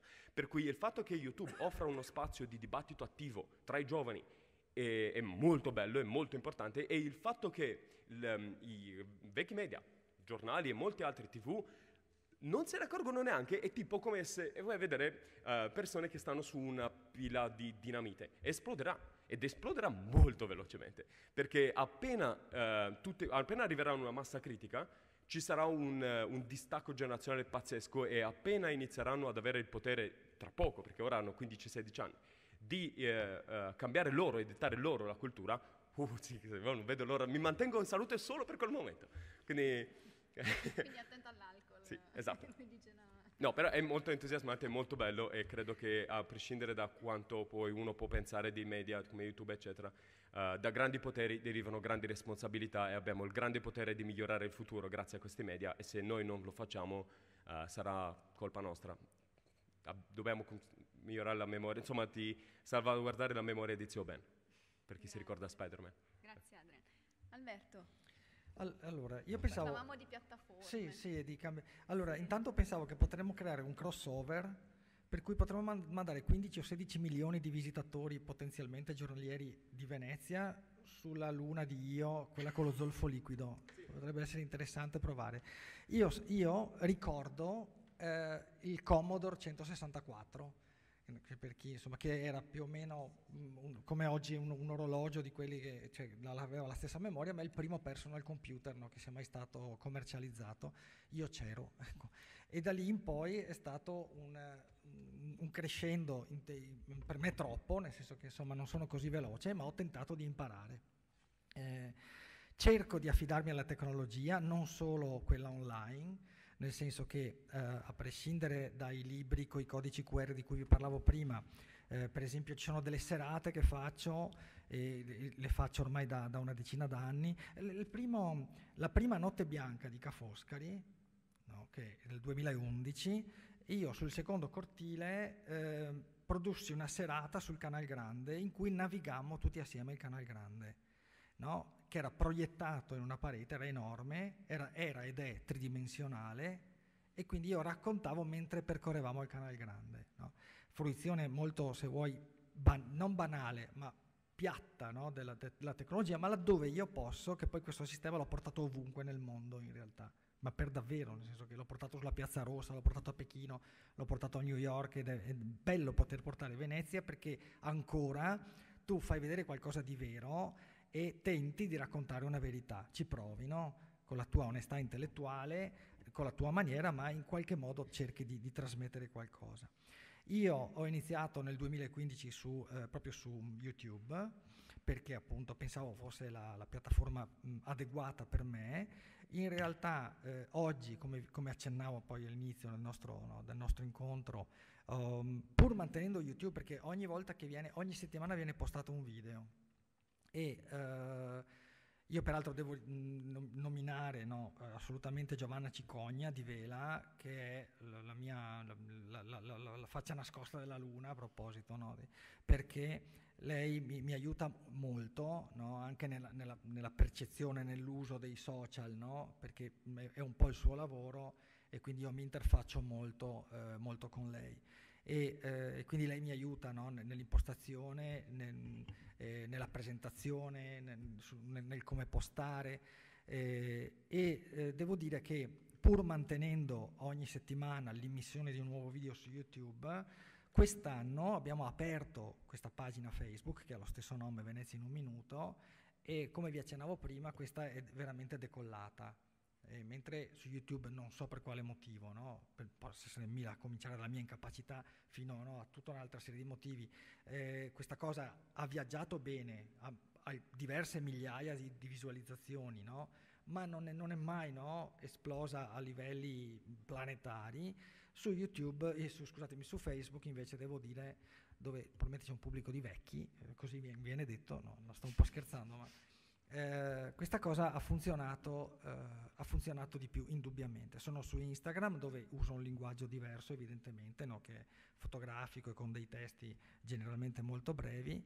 E, eh, e, volta per volta, ecco, a partire da quel Commodore 164, mi diverto. Io poi, ecco, i primi articoli da giornalista li ho scritti battendo a macchina. Io credo che non so se ce l'abbiate a casa una macchina per scrivere. Io no, perché l'ho buttata via. Ma poi, poi, siamo passati al computer e, e il, col, i primi computer con cui scrivevo avevano lo schermo verde col cursore rettangolare che pulsava, cioè, e i floppy da 5. Ecco, non so se qualcuno di voi sa cosa sia un floppy da 5, forse ecco, una, chi fa storia della... Ecco. Quindi per dire, ho veramente attraversato tutto e quindi sono anche, un, me lo dico da solo, ma sono un po' fiero di me, nel senso che in maniera eh, però davvero un po' umile, ho cercato di capire quali fossero gli strumenti. Eh, uso tutto perché tutto va bene, YouTube mi, mi, piace, mi va bene perché per esempio se eh, un francese no, o un tedesco si collegano dal loro browser automaticamente non gli compare il video con la loro lingua, per me è utilissimo in, in tal senso. E poi però appunto come si diceva non è, non è il mio mestiere, c'è una cosa che faccio in maniera molto attiva, di cui mi occupo insomma quasi tutte le settimane, ma non è, eh, no, non, non è il centro delle, delle mie attenzioni e, e, quindi insomma lo, lo ritengo appunto uno, uno strumento, no? è uno strumento tanto per chi, per chi, mi guarda, tanto per me che lo, eh, che lo produco. Chiudo una, facendo uno spoiler che interesserà credo per lo più il, la parte femminile del pubblico perché prima è stato nominato Piero Angela E io vi annuncio che fra circa un mese Alberto Angela verrà a girare a Venezia, ma non vi dico le date. E Dovete seguirlo su, su Esatto, Facebook. nel senso che o- oggi è stato un incontro con, eh, con gli autori qui a Venezia e quindi abbiamo stabilito alcuni, alcuni passaggi di Alberto qua e là in città, ma non vi dirò quali. E, e quindi Alberto Angela fra un mese è qua che gira per le calli, preparatevi. Grazie per lo spoiler. E allora io lascerei questi ultimi minuti al pubblico, eh, proprio perché l'obiettivo di questi eventi è anche di creare una comunicazione tra voi e chi è da quest'altro lato. E quindi se avete domande, curiosità, volete toccare tematiche che non abbiamo affrontato, eh, alzate la mano, c'è qualcuno con il microfono che verrà a microfonarvi. C'è qui.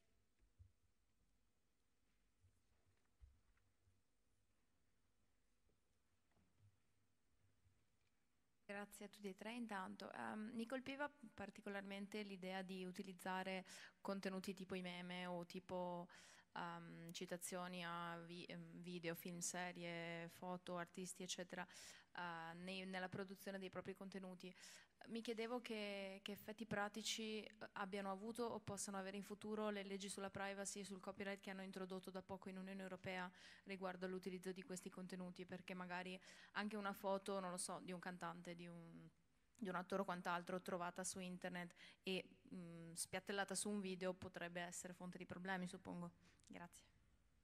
Sì, è, è è casino perché nessuno ha stabilito di preciso quale regole verrà valutato e per quali eh, casi. Per esempio, se voi condividete ora una notizia da un giornale, da- qualcuno prende da un giornale online e la pubblica su Facebook, insieme all'immagine che compare all'anteprima c'è la descrizione sotto, cioè il titolo della notizia e le prime 3-4 frasi no, di- del- dell'incipit. E secondo la normativa quello sarebbe, sarebbe illecito, cioè stai rubando un contenuto, però in- Facebook lo fa in automatico. Eh, se Facebook non lo fa più, per motivi di, di privacy, quindi non si vede, che cosa si dovrebbe vedere? Fino a che punto è un, eh, un rubare la- il contenuto? Boh, eh, non viene specificato. Qu- Quanto è free use? Boh, eh, a discrezione. C'è, c'è scritto in maniera molto vaga che per, per scopi culturali o comunque divulgativi, ma quanto effettivamente si sa. Per, per i meme l'altro problema è che non c'è un autore conosciuto, per cui non, non- non sai chi è che ha prodotto quel, quel meme in particolare. Eh, sono, è tipo i graffiti no? che trovate in giro per le città o Banksy che avete la fortuna di vedere quanto ve lo invidio a Venezia e, però cioè, noi sappiamo chi l'ha creato in questo caso ma di solito per molto tempo è stata una cosa rara. Quindi non lo so sono spaventato e perplesso anch'io però mi, mi perplime più che altro che l'abbiano fatto eh, tante case produttrici con- c'erano molte, molte spinte di interessi da mm, case produttrici di film, serie tv, eh, dischi e non lo so, vedremo come, come cambierà, ma mi sa che molte di quelle persone che hanno votato per la legge non sono molto abituate a stare su internet, quindi boh. Grazie Adrian. Ci sono altre domande? Lì e poi qui in prima fila. A parte suggerire un altro crossover tra Alberto Tosofei e Adrian che potrebbe essere Marti in un minuto. Ehm, volevo chiedere ad Alberto, eh, siccome conosco bene i suoi video, poi ci sono anche quelli del eh, il viaggio alla scoperta, adesso c'è molto movimento, eh, però sono tutti in italiano. Tu dicevi appunto che i tuoi vengono sottotitolati e volevo chiederti, visto che poi il pubblico di Venezia, i turisti sono per la maggior parte eh, stranieri e parlano inglese, eh, se avevi mai pensato di produrne in lingua, cioè quindi in inglese per esempio, e quanta percentuale c'è di, se poi, se l'hai potuto verificare, di eh, pubblico diciamo straniero? Eh, allora, intanto grazie. Ehm, la percentuale è difficile da stabilire, nel senso che poi eh, chiaramente nelle altre lingue, no, quelli che sono, cioè nel mio, sono sottotitolati tutti.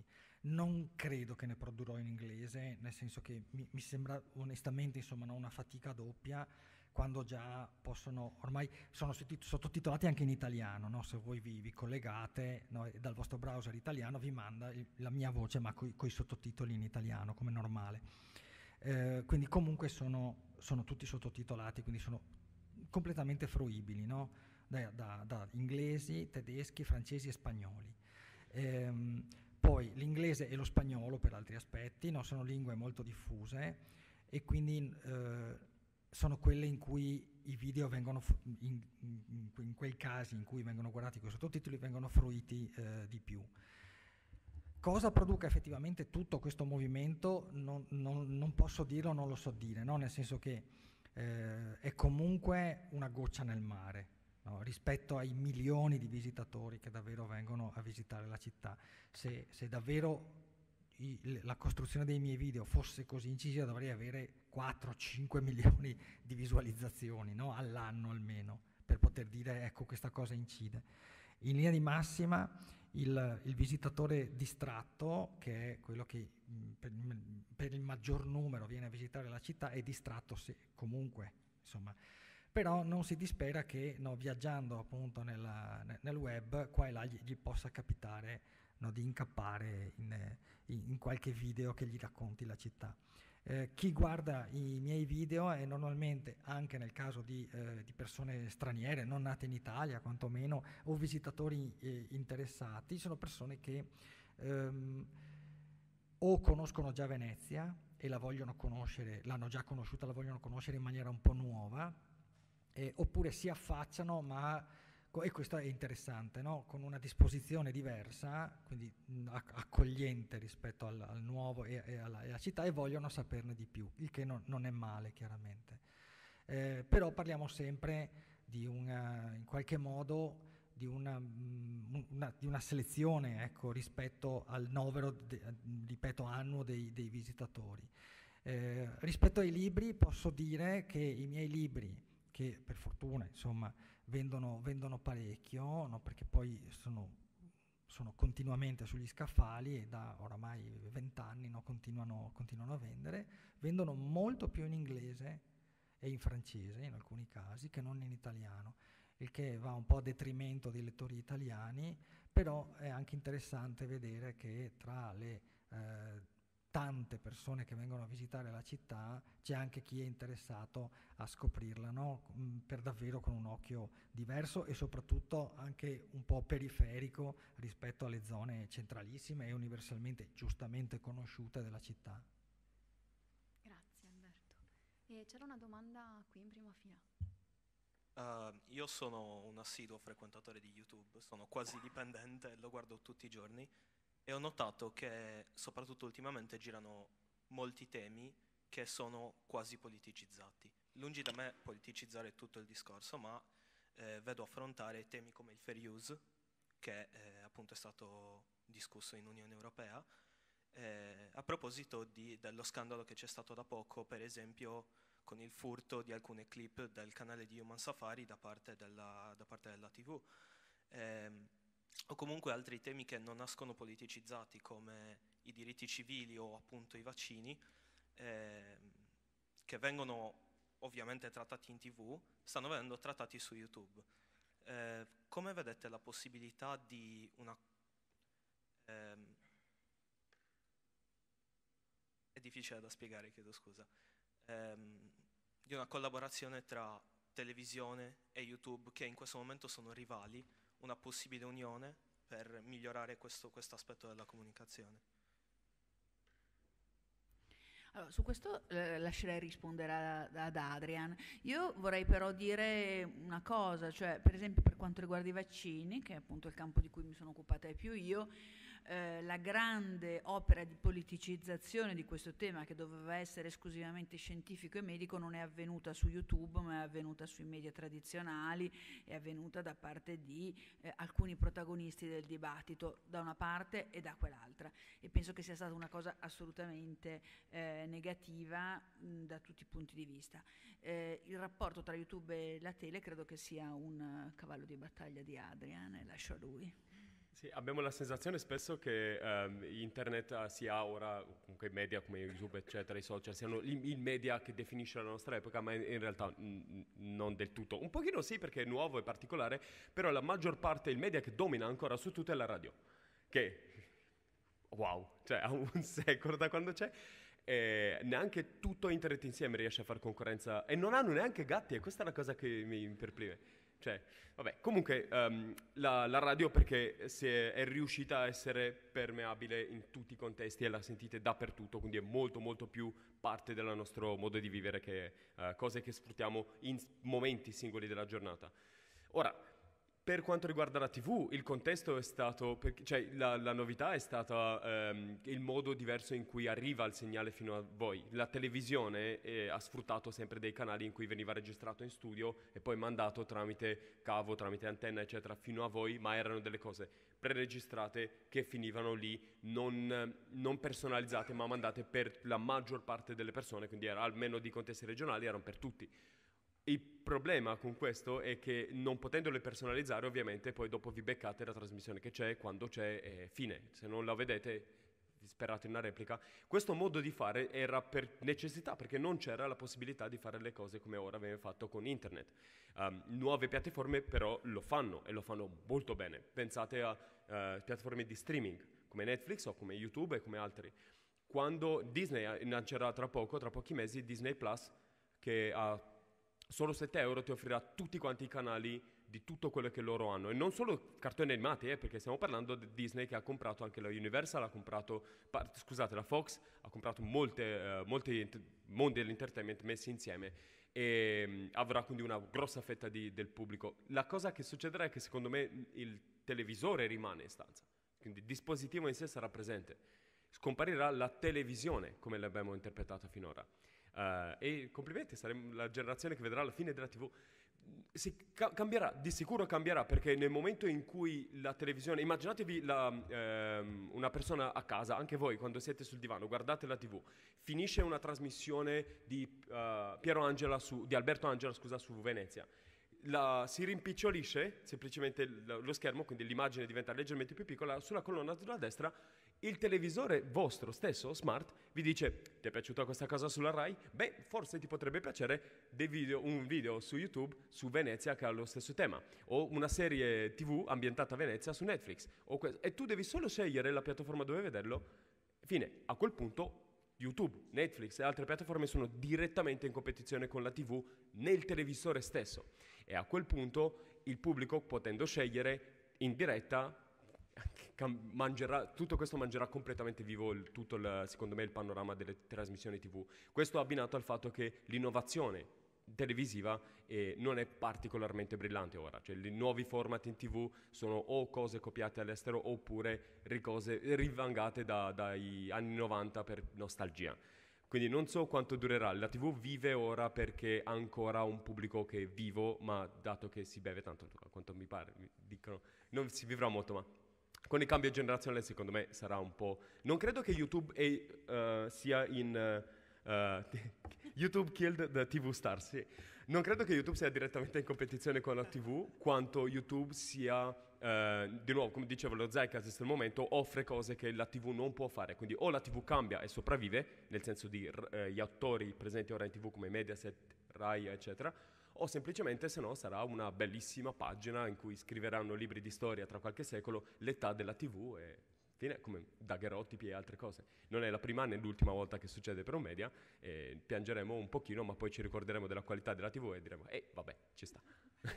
Sì, bisogna anche dire che comunque YouTube nasce come una piattaforma che ha dato a tutti la possibilità di intervenire, ha dato a te la possibilità di iniziare a creare il tuo programma, cosa che la TV prima non ci permetteva palinsesto era deciso da qualcun altro. Sì, vero. Con, uh, con, il social, cioè quindi non cambia solo appunto la, le potenzialità del canale, sono anche il fatto che il pubblico è diventato parte attiva di questa comunicazione perché può intervenire, può mm. dire la propria, tra l'altro è proprio c'è l'interattività anche per esempio dal punto di vista di commenti, quindi non solo di te che puoi andare lì e fare un video, ma la persona mentre tu parli tu fai le dirette e mer- sì, mentre sì, tu sei in diretta puoi comunicare con le persone. Questo è un vantaggio o comunque una cosa completamente diversa rispetto a quello che invece avevi con la televisione. Quindi da un punto di vista per esempio di discorsi politicizzati ti dà comunque, quantomeno in linea diciamo poten- potenzialmente, dovrebbe garantire più pluralismo, no? nel senso che Dovrebbe, parlo di Sì, dovrebbe eh. perché poi abbiamo delle dinamiche di polarizzazione un po' particolari. No, è, però- è ver- è vero che po- poi dopo, come dicevi, dei diritti civili, cioè è uno dei temi politi- politici per, per eccellenza, cioè non è che è nato non politicizzato, è come il cambiamento climatico, altre cose, è che anche la- l'idea politica non sta cambiando e su YouTube si vede molto nel modo in cui sta- si sta dibattendo, perché Polis è nata, se ci ricordiamo bene, in Grecia, in un contesto in cui quelli che venivano da fuori erano barbari da cacciare via. Io vengo da fuori dalla polis italiana, quindi, so. Quindi, ehm, è bello che ora ci sia un mondo post-interpretazione della polis come politica, come solo quello che è singolo, la singola città, tribù, eccetera, perché viviamo in un mondo post-polis. E se noi pensiamo di risolvere i problemi del mondo pensando solo a Venezia, Venezia ora è influenzata come il cambiamento climatico da quello che decide Trump per quanto riguarda eh, i carburanti fossili. Eh, noi se continuiamo a ragionare in termini di polis non andiamo da nessuna parte perché i problemi che abbiamo sono troppo grandi da risolvere a singola polis.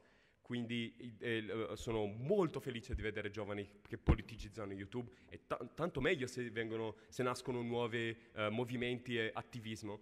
E lo so che fanno paura, gli adolescenti fanno sempre paura, però tutte le- anche la, eh, Venezia, come in tanti altri posti, si è combattuto e si è morti per la democrazia tempi fa ed erano i giovani che erano in prima fila con tutti che dicevano "Com- dove finirà il mondo quando non ci sono più aristocratici? Eh, eh, se fossero qui a sentirci quando hanno fatto questa sala. eh. Avete altre domande? Abbiamo ancora... Ecco, ti facciamo camminare.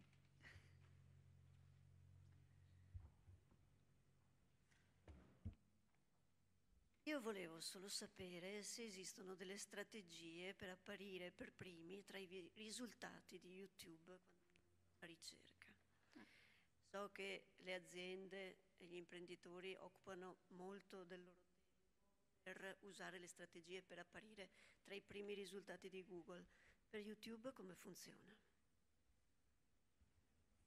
Sì, è lo stesso come su Google, eh, eh, perché YouTube è parte di Google. Diciamo che più che altro la- per le- l'esperienza che hai di vederti nei motori di ricerca o comunque su YouTube dipende dall'utente, quindi la mia homepage sarà diversa dalla sua.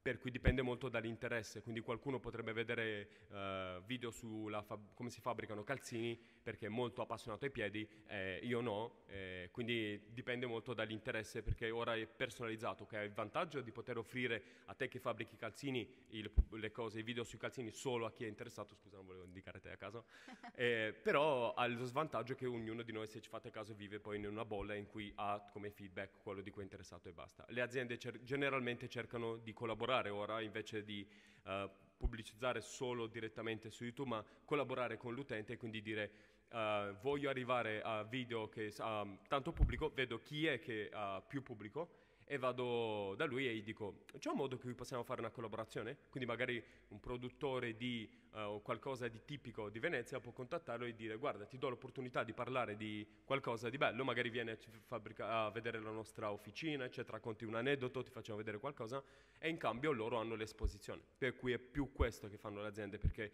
quello che il pubblico vuole è il rapporto autentico con il creator, con colui che fa il video, quindi non tanto la pubblicità perché sennò è TV.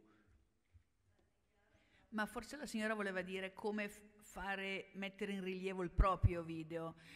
Eh, allora, Ah, io, io non sono molto brava, eh, però le cose che mi ha insegnato Dario sono che per esempio bisogna mettere delle parole chiave molto importanti, molto ricercate, molto comuni nel titolo, nella sintesi, bisogna mettere dove ci sono per esempio le parole, appunto nell'elenco delle parole chiave, mettere il maggior numero di parole chiave possibile. Non so se dico delle cose sbagliate, Adrian. Sì, sì, fondamentalmente così. E cercate di fare un video con un titolo che possa essere eh, accattivante e non troppo clickbait, per cui comunque che sia, che, ehm, che sia qualcosa che rende l'idea del video e che att- attira il pubblico. Eh, avete i primi 30 secondi, massimo, massimo un minuto per rendere interessante il vostro video, dargli un motivo per cui deve andare avanti, ma è lo stesso che succede con un libro, no?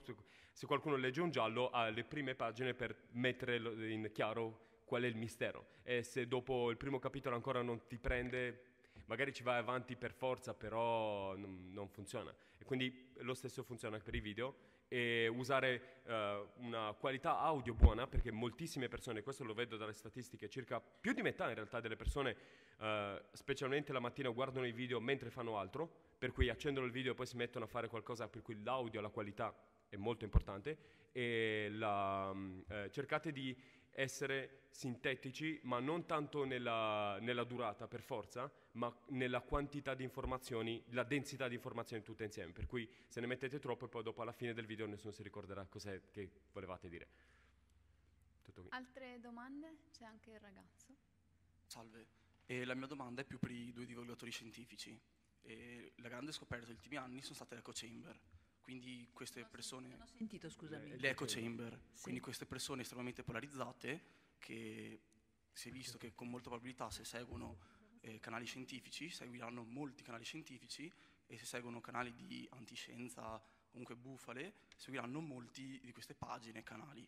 Da come vi siete espressi prima, mi sembra che l'engagement che cercate è più nella zona grigia che nel mezzo, ma nelle persone che sono estremamente polarizzate in questo senso cioè, mi viene da dire, si può salvarle, si può fare qualcosa per raggiungerle o, cioè, da quel che vedo online, c'è molta la tendenza di aspettare che col tempo semplicemente scompaiano, cioè per l'età, per i vari motivi, perché per la sua natura, persone di questo tipo che hanno, hanno dovuto avere il tempo di polarizzarsi, hanno una certa età. Ma, eh, no. Ma è così? O... Eh, ah sì sì, no, rispondi tu che sei la persona più... Ci hanno lavorato direttamente. No, dato che quelle sono ricerche nostre eh, sull'eco chamber, allora volevo intervenire perché la zona grigia, Roberta non mi credo, non c'è. La zona grigia non c'è, cioè ce n'è pochissima. Se, guarda, se, guardiamo i risultati dei nostri studi, purtroppo questa zona grigia non c'è. Noi tendiamo, anzi non c'è nemmeno un tempo di polarizzazione, nel senso che dopo pochissimi like su una piattaforma tendiamo ad infilarci nella nostra bolla di riferimento. Quindi eh, purtroppo non è propriamente, non è così semplice, però quello che stiamo facendo, tra l'altro con Roberta lo stiamo facendo insieme, è cercare di capire quali modalità di comunicazione, quali tecniche, per esempio strategie, possono consentirci di appianare questa polarizzazione e di cercare di far comunicare gruppi che provengono appunto da bolle diverse. E, per esempio, credo sia questo anche quello che cerchi di, per esempio di fare tu sui vaccini. Ecco, eh, nel campo dei vaccini in particolare, eh, io quello che intendo per area grigia intendo chi non si è ancora posto il problema eh, oppure chi non ha avuto ancora tempo di polarizzarsi, eh, perché non tutti necessariamente vanno su io vaccino o sul gruppo i vaccini sono eh, i veleni di Big Pharma, quindi uno che ancora non si è posto il problema non è polarizzato, uno che ancora non ha, ha sentito qualcosa ma non si è mm, particolarmente interessato eh, non è polarizzato. Molte persone hanno un dubbio sui vaccini, ne hanno due, ma non, so, non si definirebbero sicuramente anti-vax e non aderirebbero all'entusiasmo dei vaccini come la cosa, la, la salvezza del mondo. Quindi io credo che ci sia un'area non cioè sui social, appena soprattutto su Facebook, appena entri nel dibattito, la polarizzazione è immediata. Però non so se sbaglio, Fabiana, nella realtà poi tu trovi molte persone che non sono polarizzate, che hanno almeno sul tema specifico dei vaccini, io trovo molte persone che dicono io sono favorevole ai vaccini, però mi chiedo è proprio necessario farne, oppure eh, è proprio serve fare il papilloma, eh, non sarà pericoloso, oppure ma io ho sentito questa cosa. Questo secondo me esiste, non si può negare che esista. No, no, no, però da quello che, osservi- a quello che possiamo osservare, perché i dati che abbiamo a disposizione non sono ovviamente tutti, e anzi cioè, questo è un punto cui, a cui dovremmo prestare attenzione, cioè il garantire che i dati possano essere studiati per scopi di ricerca, perché come utenti siamo sempre attenti al fatto che i dati debbano essere protetti a scopo di privacy, però poi dopo rischiamo di non avere più la, la maniera di studiarli e di capire che, quali sono le dinamiche, eh, per esempio, di diffusione di informazione. Quindi da quello che osserviamo noi, cioè guardando al social e a quello che osservo, indipendentemente dalla piattaforma, quest'area grigia non c'è. È ovvio che magari prima di entrare in un argomento, magari pos- possiamo provare a lavorarci prima. Sì. E a questo proposito, ehm, parlavo l'altro settimana scorsa a Firenze, eh, al Festival delle Riviste, dicevo un aspetto importante secondo me, anche quando si parla di disinformazione, ci si concentra molto sul tema della qualità, no? del distinguere il vero dal falso, che eh, su alcune cose è ovvio, cioè se, se, gira la notizia che Trump è morto, ma eh, abbiamo la prova che in realtà è ancora vivo, quello lì o è vero o è falso, non è che ci sono tanto, tanto da discutere. Invece ci sono molte notizie che sono in un'area grigia, quelle sì, nel senso che magari sono delle notizie vere ma presentate in maniera distorta, con un titolo che fa pensare ad altro, oppure nascondendo una parte della notizia che la ridimensiona in un altro modo. Allora, in tutto questo, mo- in tutto questo eh, contesto è molto difficile quello che si cerca di fare a volte, di mettere il bollino di vero o falso, che è quello che tante piattaforme anche stanno pensando di fare o che molte persone invocano. Questo non è eh, fattibile anche perché non c'è sempre la competenza profonda, sarebbe impossibile avere dei comitati di esperti, gli stessi esperti sono in disaccordo su tanti aspetti. Quindi quello che eh, credo che sia più importante rispetto alla qualità e al mettere i bollini di qualità nell'informazione sia la quantità, cioè se cinque anni fa sui vaccini tu mettevi eh, vaccini su Google e uscivano solo pagine di disinformazione, adesso c'è in rete tanta anche buona informazione, quindi aumenta la probabilità che eh, escano anche delle notizie buone. E quindi io penso che il fatto di intervenire anche sui social, anche in contesti dove appunto magari non si è abituati a parlare di scienza come su Instagram, ma riempire comunque la rete di buoni contenuti fa da concorrenza a quelli diciamo eh, meno affidabili e quindi io penso che anche una strategia quantitativa eh, possa essere utile. Adesso però ma la professoressa Zollo magari mi boccia perché questo è un mio pensiero. Eh, no, vabbè, ma è quello che stiamo cercando di fare, cioè invece di stare a focali, dato che abbiamo visto che comunque se provi a correggere, i bollini non servono a nulla, non è possibile metterli perché non si può sempre discernere il vero dal falso.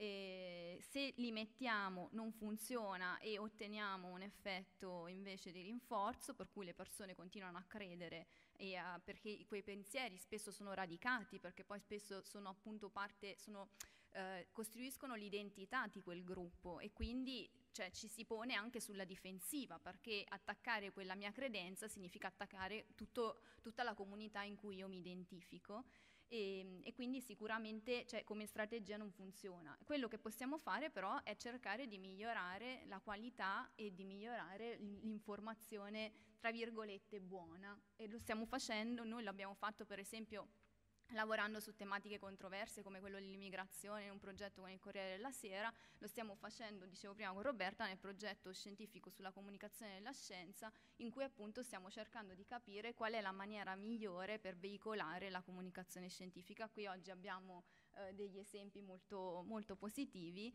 e, ma lo scopo è proprio appunto di cercare di lavoriamo su, da, su, su quel fronte, quindi diamo la possibilità alle persone di avere dell'informazione buona a cui possono rivolgersi e mh, trovando magari la strategia comunicativa più efficace per raggiungerle queste persone, dato che alcune di queste strategie finora non hanno funzionato.